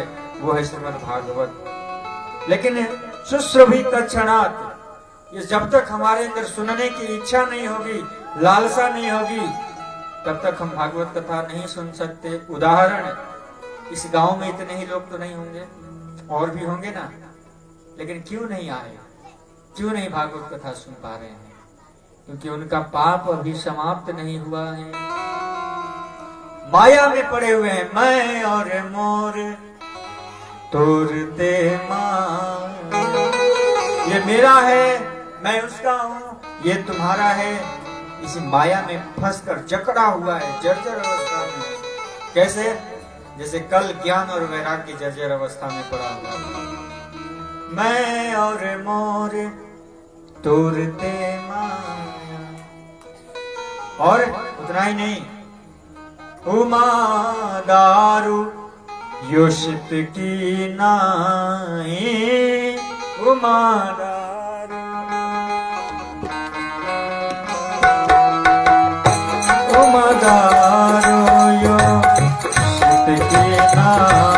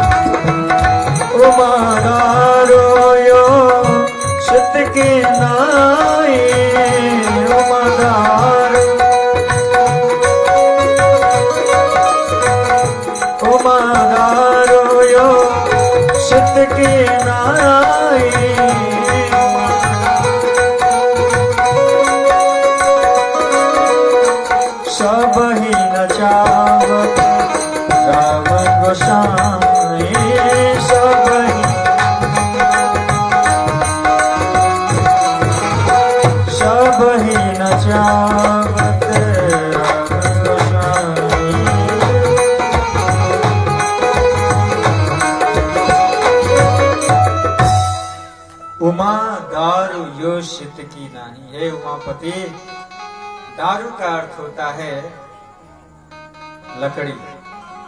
और योषित का अर्थ होता है स्त्री। लकड़ी और स्त्री को मिलाया जाए तो काठ की पुतरिया। काठ की पुतरिया समझते हैं? कठपुतली लकड़ी कठपुतली बनाई जाती है। उमा दारू योषित दारू योषित को मिलाएँ तो कठपुतली बनेगा। योषित की नाई। उसी प्रकार जैसे एक कठपुतली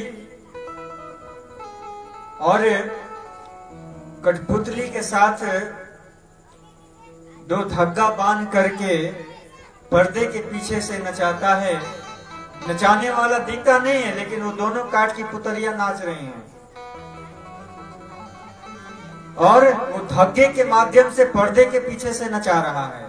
लेकिन दिखाई नहीं देता है वो धग्गा ठीक उसी प्रकार भक्तों, हम भी संसार में नाच रहे हैं। किसी को पत्नी नचा रही है, किसी को ऑफ़िस नचा रहा है, किसी को काम बार नचा रहा है। सब नाच रहे हैं, लेकिन वो सौभाग्यशाली हैं, जो इन सब में नाचते नाचते भूल करके भगवान की कथा और कीर्तन में आकर नाचने लगे। तो इससे लाभ क्या होगा? चौरासी लाख योनियों में नाचने से, भव से पार हो जाएगा। यानी पुनरपि जननम, पुनरपि मरणम, पुनरपि जठरा शयनम जठरा शयनम। यानी बार बार वो जन्म मृत्यु के चक्कर से पार हो सकता है। कितना आसान है, नाचना है। हरे कृष्णा हरे कृष्णा। नृत्य करना है। संसार के गाने पर नाचोगे, फिर वही जन्म मिलेगा। भगवान की कथा कथा कीर्तन में यदि नाच दिए तो जीवन भर नाचने से पार हो जाओगे। हरे कृष्णा हरे कृष्णा, कृष्ण कृष्ण, हरे हरे राम हरे राम राम राम, हरे हरे तालियों की सेवा करते हुए। हरे राम, हरे कृष्ण हरे कृष्ण कृष्ण कृष्ण, हरे हरे। हरे राम हरे राम राम राम, हरे हरे हरे कृष्ण हरे कृष्ण।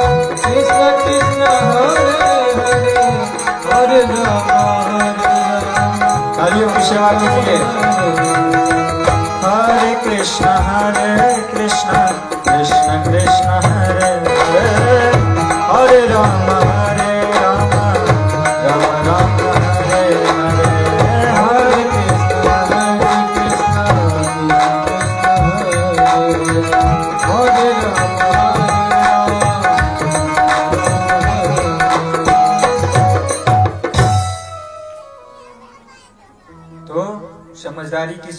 हमें इस महामंत्र पर नाचना है और अभी कथा के बाद सबको नाचना है। किसी को शर्माना नहीं है। जैसे शादी में किसी का घर घर में ही किसी का शादी हो तो लोग शर्माते नहीं है ना? सब लोग नाचते हैं। अरे भगवान की कथा कीर्तन में नाचो। और अभी नाचना है, कथा खत्म होगा तो सब लोग नाचेंगे। अभी पहले कथा होगा। कौन कौन इसमें नाचेगा? हाथ उठाइए। क्या बात। हरी बोल शर्माना नहीं है।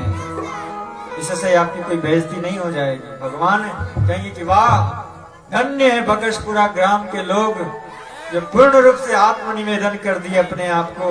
और भगवान की कथा कीर्तन में नाच रहे हैं। किसी को नरक में नहीं जाने दूँगा। सबके लिए विमान आएगा, भगवान भेजेंगे।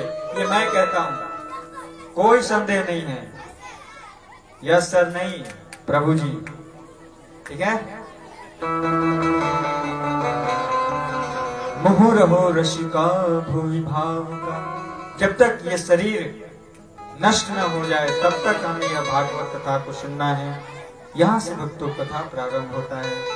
नैमिष अनिमिषा क्षेत्र ऋषिय शौन का दयः शत्रं स्वर्गाय लोकाय सहस्रशममा।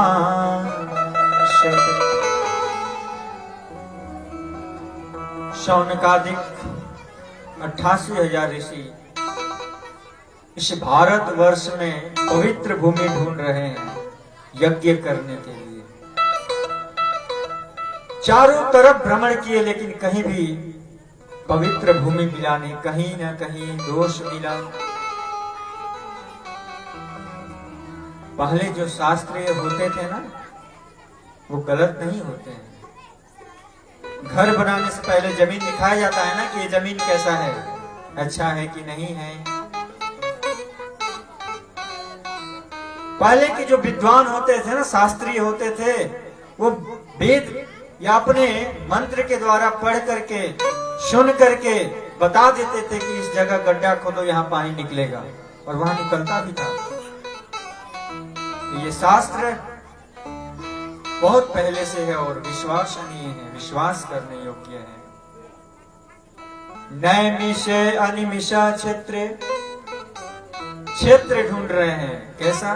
पवित्र भूमि, जहाँ पर सहस्त्र सममासत एक हज़ार वर्ष तक चलने वाला यज्ञ का अनुष्ठान किया जाए। लेकिन ऐसा पवित्र भूमि से कली काल में कहीं मिल नहीं रहा है। सभी महात्मा संत मीटिंग किए और मीटिंग बना करके कहा गए? ब्रह्मा जी के पास गए। और ब्रह्मा जी से निवेदन करने लगे कि हमें यज्ञ करना है। कोई पवित्र भूमि हमें मिल नहीं रहा है। जहाँ देखो वहाँ कलह, मारपीट, शराब कोई पी रहा है तो कोई मदिरा, कोई जुआ खेल रहा है। वहाँ हम यज्ञ कर ही नहीं सकते हैं। ब्रह्मा जी कह रहे हैं कि तुम लोग कीर्तन करो। तब तक हम तप, तपस्या करके बताते हैं कि कहाँ पर कौन सी भूमि पवित्र है। सभी ऋषि मुनि महात्मा संत कीर्तन में लग गए। उधर ब्रह्मा जी तपस्या कर रहे हैं। तपस्या करते करते मन में ही भगवान के आदेशानुसार मन से ही मनोमय चक्र का निर्माण किए और उस चक्र को छोड़ दिए और सभी महात्मा, सभी साधु से बोले, इस चक्र के पीछे पीछे जाओ। और ये चक्र का जो धरा है, जिस भूमि पर धसेगा, वही पवित्र भूमि मानी जाएगी। सभी ऋषि मुनि महात्मा संत उस चक्र के पीछे पीछे चल दिए। और वो चक्र कहीं और नहीं, इस भारत भूमि पर, लखनऊ से 120 किलोमीटर दूर, सीतापुर ग्राम में, जहाँ पर अरण्य एक बहुत घना वन में नमी का अर्थ होता है भूमि, और अरण्य का अर्थ होता है वन, जिस भूमि पर वो चक्र धसा उसी को नैमी सा अरण्य कहा जाता है। है ना? नैमिषारण्य। नैमिष अनिमिषा क्षेत्र वही निमिष। भगवान का एक नाम है निमिष। क्योंकि भगवान का कभी पलक नहीं झपकता और हम लोगों का पलक झपक झपकता है इसलिए इसको अनिमिष कहा जाता है। पलक झपकना इसको अनिमिष कहा गया है। और भगवान का एक नाम है निमिष। तो वो चक्र का जो धूरा था, उस भूमि पर धसा, उसको चक्र तीर्थ के नाम से जानते हैं। अगर आज भी आप जाएँगे तो वो चक्र तीर्थ उपस्थित है, जिसको नैमिषारण्य कहा गया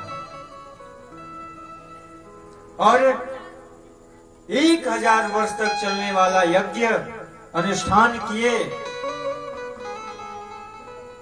जिसमें अनेक संत महात्मा दूर दूर से चलकर वहाँ पर उपस्थित हुए नैमिषारण्य में, उस वन में, और यज्ञ करने ही प्रारंभ कर रहे थे, तब तक बहुत सारे प्रश्न, बहुत सारे विघ्न उत्पन्न होने लगे। एक हज़ार वर्ष तक यज्ञ चलेगा अगर इसमें किसी की मृत्यु हो जाए तो।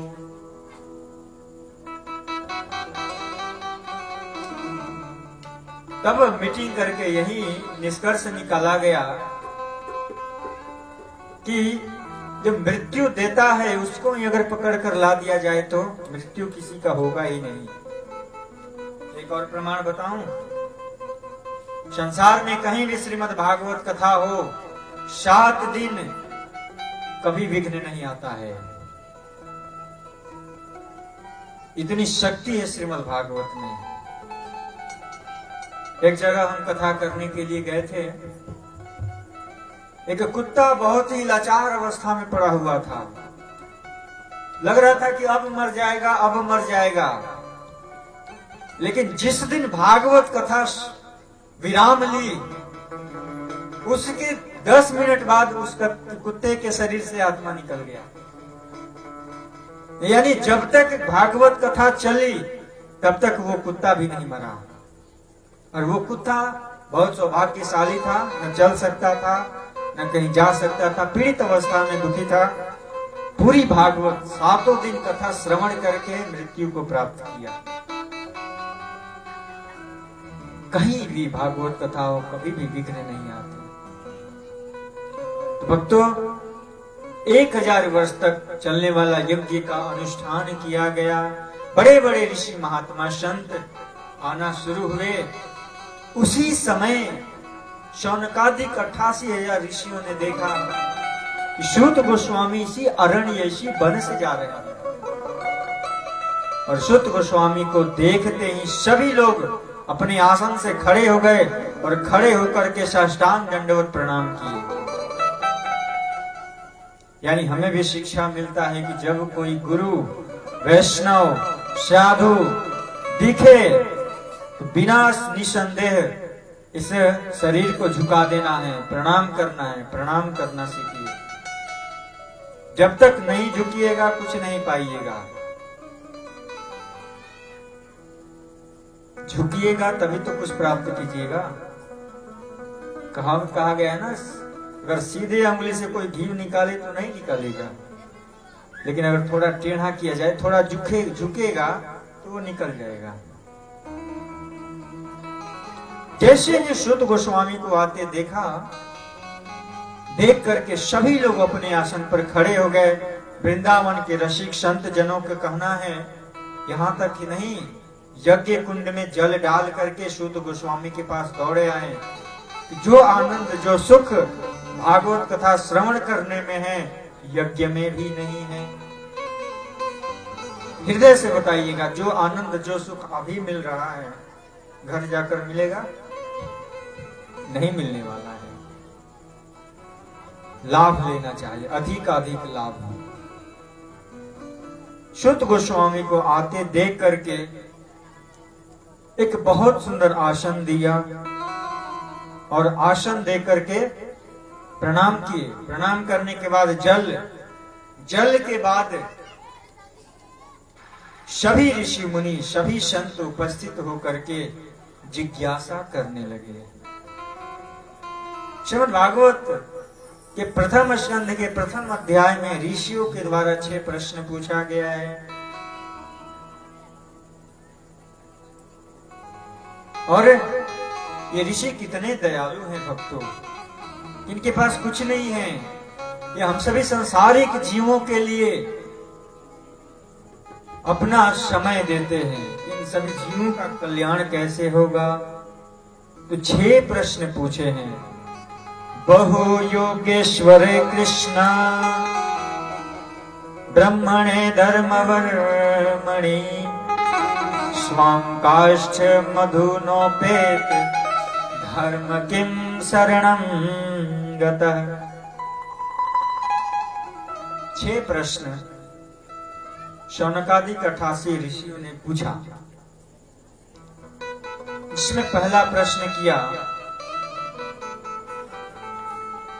कि आजकल लोगों की जो बुद्धि है ना, मंद सुमंद मतयो मंद होती जा रही है, सूक्ष्म होती जा रही है तो उन सभी जीवों का कल्याण कैसे होगा? कोई भागवत कथा नहीं सुनना चाहता है। ऐसे लोगों का कल्याण कैसे होगा? हे मुनि, हे महात्मा, हे श्रुत गोस्वामी, आप कृपा करके हमें बताएँ।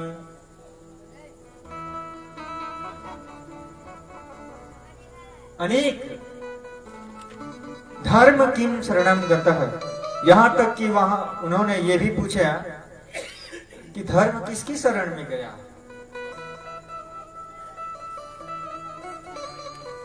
जब भगवान इस धरा लोक से लीला समाप्त करके अपने धाम श्री गोलोक को गए, ये धर्म किसके शरण में गया? ये धर्म कहीं और नहीं, भक्तों। ये धर्म भागवत के शरण में आया है। क्योंकि भाग, भागवत में भगवान की ही लीला है। और भगवान की लीला यानी साक्षात भगवान। जब भगवान इस धरा लोक से लीला समाप्त करके गए तो धर्म भागवत की शरण में आई यहाँ तक कि दूसरा प्रश्न करते हैं कि धर्म शास्त्र बहुत हैं, पर इन सब शास्त्रों का सार क्या है? निचोड़ क्या है? कृपा करके हमें बताइए। ये उन्होंने तीसरा प्रश्न किया। और चौथा प्रश्न क्या करते हैं कि भगवान सर्व सामर्थ्य हैं? तो फिर बार बार अवतार लेने की क्या आवश्यकता है? कृपा करके क्यों आते हैं बार बार ये हमें बताने का प्रयास करें। यदि भगवान अवतार लिए हैं तो किस किस रूप में अवतार लिए हैं? अवतार ले करके क्या क्या लीला किए हैं? कृपा करके ये हमें बताएँ, और धर्म किम? शरणम गतः। किम श्रेय? शास्त्र सार कस्व अवतार प्रयोजन किम कर्म? के अवतारस्य।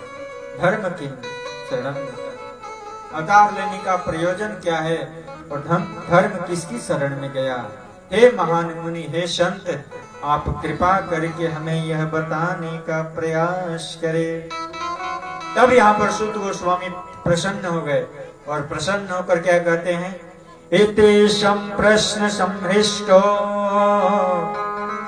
विप्राणाम रोम हर्षणि प्रतिपूज्य वचस्ते प्रवक्तो मोपचाक्रमे। शौनकादिक ब्रह्मादि ऋषियों का यह प्रश्न सुन करके श्रुत गोस्वामी अत्यंत प्रसन्न हुए। इस कली काल में, इस कलयुग में लोगों के पास इतना समय नहीं है कि वो दूसरों के लिए समय निकाले। जीव का कल्याण कैसे होगा? धन्य है महात्मा, धन्य है संत, जो आप लोगों ने इतनी सुंदर प्रश्न की जिज्ञासा की है। उससे पहले श्रुत गोस्वामी अपने गुरु, अपने सानिध्य में जिससे शिक्षा प्राप्त किए, जिससे भागवत कथा सुनी, उनको प्रणाम करते हैं।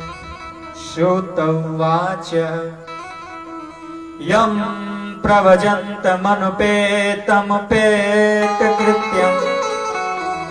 द्वैपायनो विरह का तरया जुहाव पुत्रेति तन्मयतया तरवोऽभिनेदुस्।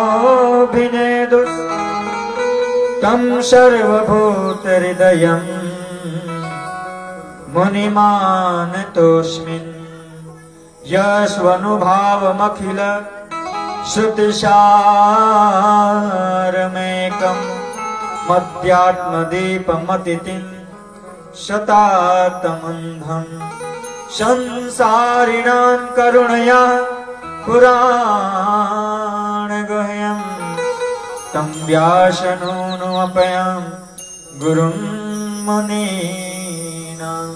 इन दो श्लोकों में गुरु को प्रणाम किए हैं, जिनके द्वारा यह भागवत कथा श्रवण किए तीसरे श्लोक में भगवान को प्रणाम करते हैं। नारायणं नमस्कृत्यम् नरं चैव नरोत्तमम् देवीं सरस्वतीं व्यासो ततो सुखदेव गोस्वामी इसका वर्णन किए हैं कि मनुष्यों में सर्वश्रेष्ठ भगवान के अवतार नर नारायण नर नारायण यानी नारायणम। नरम चैव नरोत्तमम। जो एकदम सरल हैं, दया करने वाले हैं, कृपा करने वाले हैं, नमस्कृत्यम। देवीम सरस्वती व्यासो, ऐसे व्यास, ऐसे सरस्वती व्यास, ततो जय मुदीर नमस्कृत्यम। नमस्कार करते हैं, प्रणाम करते हैं। तीसरे, चौथे श्लोक में, पाँचवें श्लोक में उन ऋषियों की उत्साह को बढ़ाते हुए कहते हैं, मन यह साधु पृष्ठो हम, भवत वीरलोक मंगलम यत्कृतम कृष्ण संप्रश्नो येनात्मा सुप्रसिद्धति। क्या कहते हैं? मुनिया साधु पृष्ठ हे मुनि, हे साधु ये जो आपने प्रश्न पूछा है, पृष्ठो हम बहुत प्रसन्न हैं। भवादि लोक मंगलम, ये लोक कल्याण के लिए प्रश्न पूछे हैं। इससे लोक का कल्याण होगा, ग्राम, नगर, देश, सबका कल्याण होगा, सबका उद्धार होगा। यद कृष्ण सम प्रश्न ये कृष्ण से जुड़ा हुआ प्रश्न पूछे हैं कि वो जीव, वो कामी, वो अज्ञानी कैसे कृष्ण को प्राप्त करेगा? कृपा करके हमें बताने का प्रयास करें। आहा, बहुत आनंद हुए शुद्ध गोस्वामी और बहुत प्रसन्न हुए। शवम अब यहाँ पर धर्म का वर्णन करते हैं कि सबसे बड़ा धर्म क्या है? शवम पुंसाम परमो धर्म, यतो भक्तिरतोक्षजे अहेतु क्या प्रहित्या आत्मा संप्रसेदति स्वयं पुंसाम परमो धर्म। सबसे सर्वश्रेष्ठ सर्वसे उत्तम धर्म यही है। भक्ति अधोक्षज अधोक्षज श्री हरि नर नारायण का भक्ति करें। इससे बड़ा धर्म और कोई नहीं है। अहेतु की, ये बहुत बड़ी अहेतु की कृपा है जो प्राप्त हुआ। सम प्रसिद्धति इससे प्रसन्नता प्रसिद्धति सब प्राप्त होगा। यहाँ पर शुद्ध गोस्वामी ने छह प्रश्नों का उत्तर देते हुए कहा, ये छह प्रश्न कोई और नहीं, पूरी श्रीमद् भागवत ही यह है। छह प्रश्नों का उत्तर है। छह प्रश्नों का उत्तर ही श्रीमद् भागवत है। इस प्रकार से भक्तों, ये सुखदेव गोस्वामी कोई और नहीं। एक बार कैलाश के भूमि शिव सती को दिव्य श्रीमद् भागवत कथा सुना रहे थे। कथा सुनते सुनते माँ सती सो गई। कैसे सुखदेव गोस्वामी जी प्राकट्य हुए, इसका हम वर्णन सुना रहे हैं। ध्यान से सुनिएगा। बीच बीच में हाँ हाँ बोलती थी, लेकिन कुछ लोगों को कथा में ही नींद आती है। घर में नींद कैसे आएगी? घर में तो कलह है, दुख है, घर में टेंशन है। सोना, कुछ लोग कथा में आकर सो जाते हैं। ठीक उसी प्रकार भगवान शिव सती को भागवत कथा श्रवण करा रहे थे। हरे कृष्णा हरे कृष्णा। हरे राम हरे राम। हाँ बस, यहीं कर खत्म कर हरे कृष्णा हरे कृष्णा। कृष्णा कृष्णा, हरे हरे। हरे राम हरे राम। राम राम, हरे। हरे कृष्णा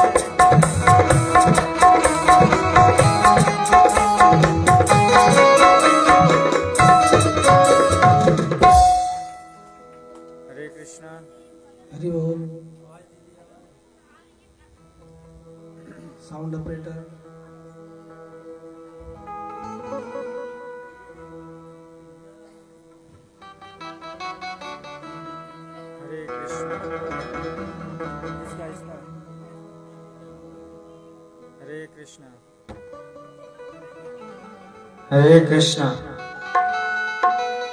हरि बोल। भक्तों, इस प्रकार से शिव जी कथा श्रवण करा रहे हैं, उसी बीच में सो गई। जिसको अभिमान होता है, जो अज्ञानी होता है, उसको जल्दी नींद आता है। कथा अच्छी नहीं लगती, वो सो जाता है कथा में आकर के। और शिव जी नेत्र बंद करके भागवत कथा सुना ही रहे हैं। उसी समय एक शुक अंडे में पल रहा था और वह पूरी भागवत कथा शिव जी के माध्यम से श्रवण की और जब भागवत कथा विराम हुई तो शिव जी सती जी से पूछते हैं, देवी, क्या आपने पूरी भागवत सुनी? तब यहाँ पर कहती है कि, हे देव, देवों के देव महादेव, आप कथा श्रवण करा रहे थे, उसी बीच में हमें निद्रा, नींद आ गई। तब शिव जी आश्चर्य कर रहे हैं, मन में विचार कर रहे हैं कि पीछे से होकारी कौन भर रहा था? क्योंकि कथा सबको नहीं सुनाया जा सकता है। सब श्रीमद भागवत कथा सुनने के अधिकारी नहीं है। कथा सुनाने से पूर्व शिव जी अपने त्रिशूल को तीन कोष में घुमाए, तीनों लोक में, ताकि कीट, पतंग, पशु, पक्षी, कोई भी इस कथा को नहीं सुन सके। उसी समय अंडा में जो सुख पल रहे थे, वो कहाँ से जाएँगे? शिव जी को अज्ञात हुआ कि ज़रूर कोई ना कोई सुन रहा था। तभी तो हाँ हाँ बोल रहा है। उसी समय शिव जी अपने त्रिशूल को वध करने के लिए छोड़ दिए और वो शुक, वो पक्षी भागते भागते त्रिशूल उसके पीछे पीछे, पक्षी भाग रहा है, त्रिशूल पीछे पीछे चल रहा है। भागते भागते भागते भागते वो शुक व्यास देव की पत्नी उसी समय जमाई ले रही थी और सूक्ष्म रूप लेकर के वो शुक व्यास देव की पत्नी के गर्भ में जाकर समाहित हो गए। और शुक बारह वर्ष तक अपने माँ के गर्भ में रहे। भक्तों, विचार कीजिए, अगर आजकल अगर बच्चा नौ महीना से अधिक के गर्भ में रहे तो माँ की क्या स्थिति होती है? सुखदेव गोस्वामी बारह वर्ष तक अपने माँ के गर्भ में रहे। व्यास देव बहुत चिंतित हो गए कि माँ को बहुत दिक्कत हो रहा है, बेटा बाहर आ जाओ। तब यहाँ पर सुखदेव गोस्वामी कहते हैं कि बाहर मैं तभी आऊँगी जब आप प्रमाण लेकर आएँगे। द्वारिका जाइए और वहाँ से प्रमाण लेकर आइए। प्रमाण क्या? जब हम इस संसार में आए तो किसी प्रकार का कोई मोह माया हमें न सताए। तब व्यासदेव जी द्वारिका से एक अच्छा सा प्रमाण लेकर आए और कहे कि बेटा, अब तो बाहर आ जाओ। उसी समय सुखदेव गोस्वामी अपनी माँ के गर्भ से चरण बाहर रखे और वन में निकल पड़े। विरह का तरे वही आया है। पुत्रे तन्मयतया सर्वो विनय दुष्टम सर्वभूत हृदय मुनिमानतोस्मि सुखदेव गोस्वामी जैसे ही अपने माँ के गर्भ से बाहर आए, आने के बाद निकल पड़े वन में। झारखंड की वन कंदराओं में भ्रमण करने के लिए निकल पड़े, भजन करने के लिए निकल गए। पिता पीछे पीछे आ रहे, पुत्रे हे पुत्र, रुक जाओ वन में, चिते शेर बाघ भेड़िए। कहते हैं, खा जाएँगे। लेकिन वो पहले ही प्रमाण ले चुके हैं कि जब हम आएँगे तो किसी प्रकार का कोई मोह माया नहीं सताएगा ऐसे सुखदेव गोस्वामी जी का प्रकट्य हुआ भक्तों। कल हम कथा कथा को आगे की ओर प्रस्तुत करेंगे। समय अधिक हो गया है। जमकर भजन होगा, कीर्तन होगा। उसके बाद सभी लोग प्रसाद लेकर के अपने अपने घर की ओर प्रस्थान करेंगे। आइए एक भजन उसके बाद कीर्तन। और जिसको नृत्य करना है, शर्म छोड़ दो भाई भक्तों। जो किया शर्म, उसका फूटा करम। शर्म छोड़ दो। शर्म छोड़कर नाचो, गाओ, प्रसाद खाओ। सावरे शोरत पे मोहन। सावरे देखिए जिसको नाचना है मना नहीं करेंगे। खुलकर नाचिए। और नहीं नाचना है तो तालियों की सेवा ज़रूर कीजिएगा। ताली और जिसको आए वो पीछे से गाएँगे। श्यामले सूरत पे मोहन दिल दीवाना हो।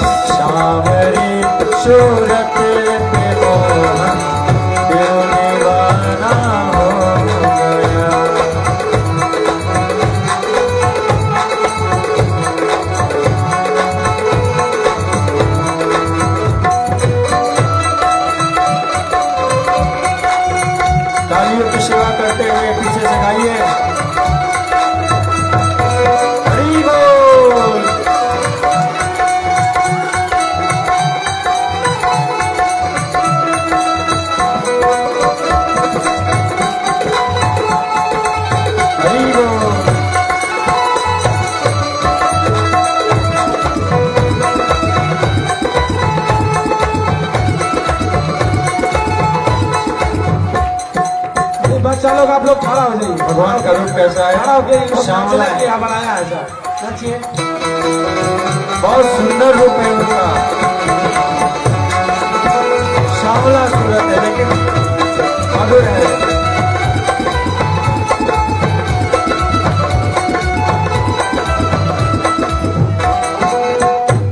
एक सखिया कहती है कि इतना ही नहीं। कभी उनके नेत्र को देखिए भगवान का नयन कितना सुंदर है। एक तो तेरे नैन तिरछे दूसरा काजल लगा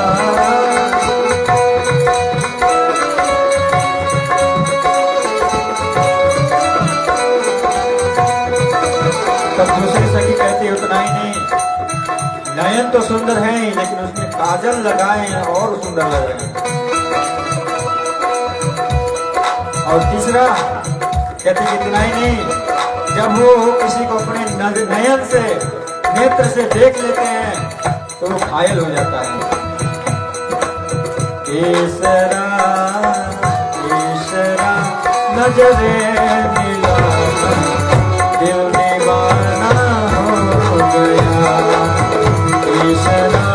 नजरे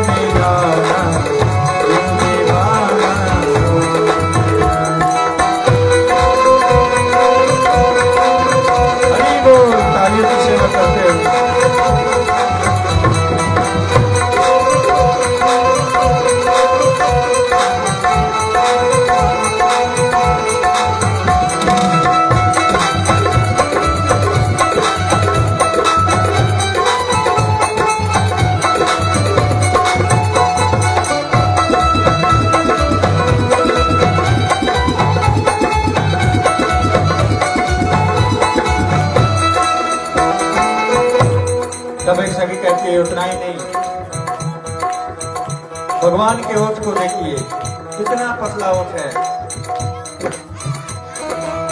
आप कभी भी मंदिर में जाए ना, कुछ मांगने के लिए मत जाइए।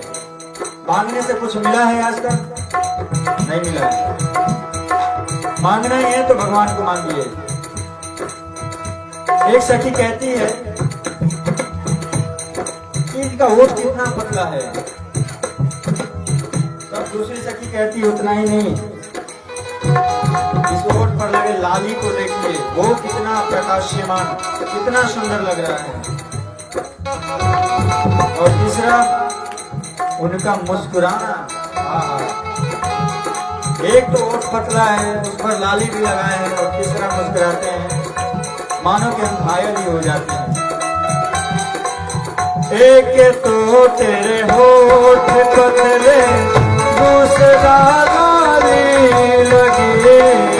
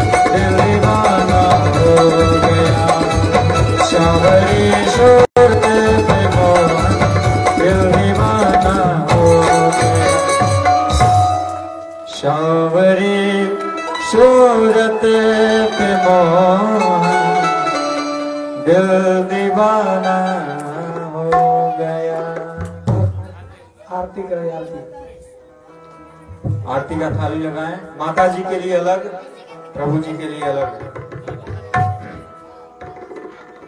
तब तक दस मिनट के लिए कीर्तन करेंगे।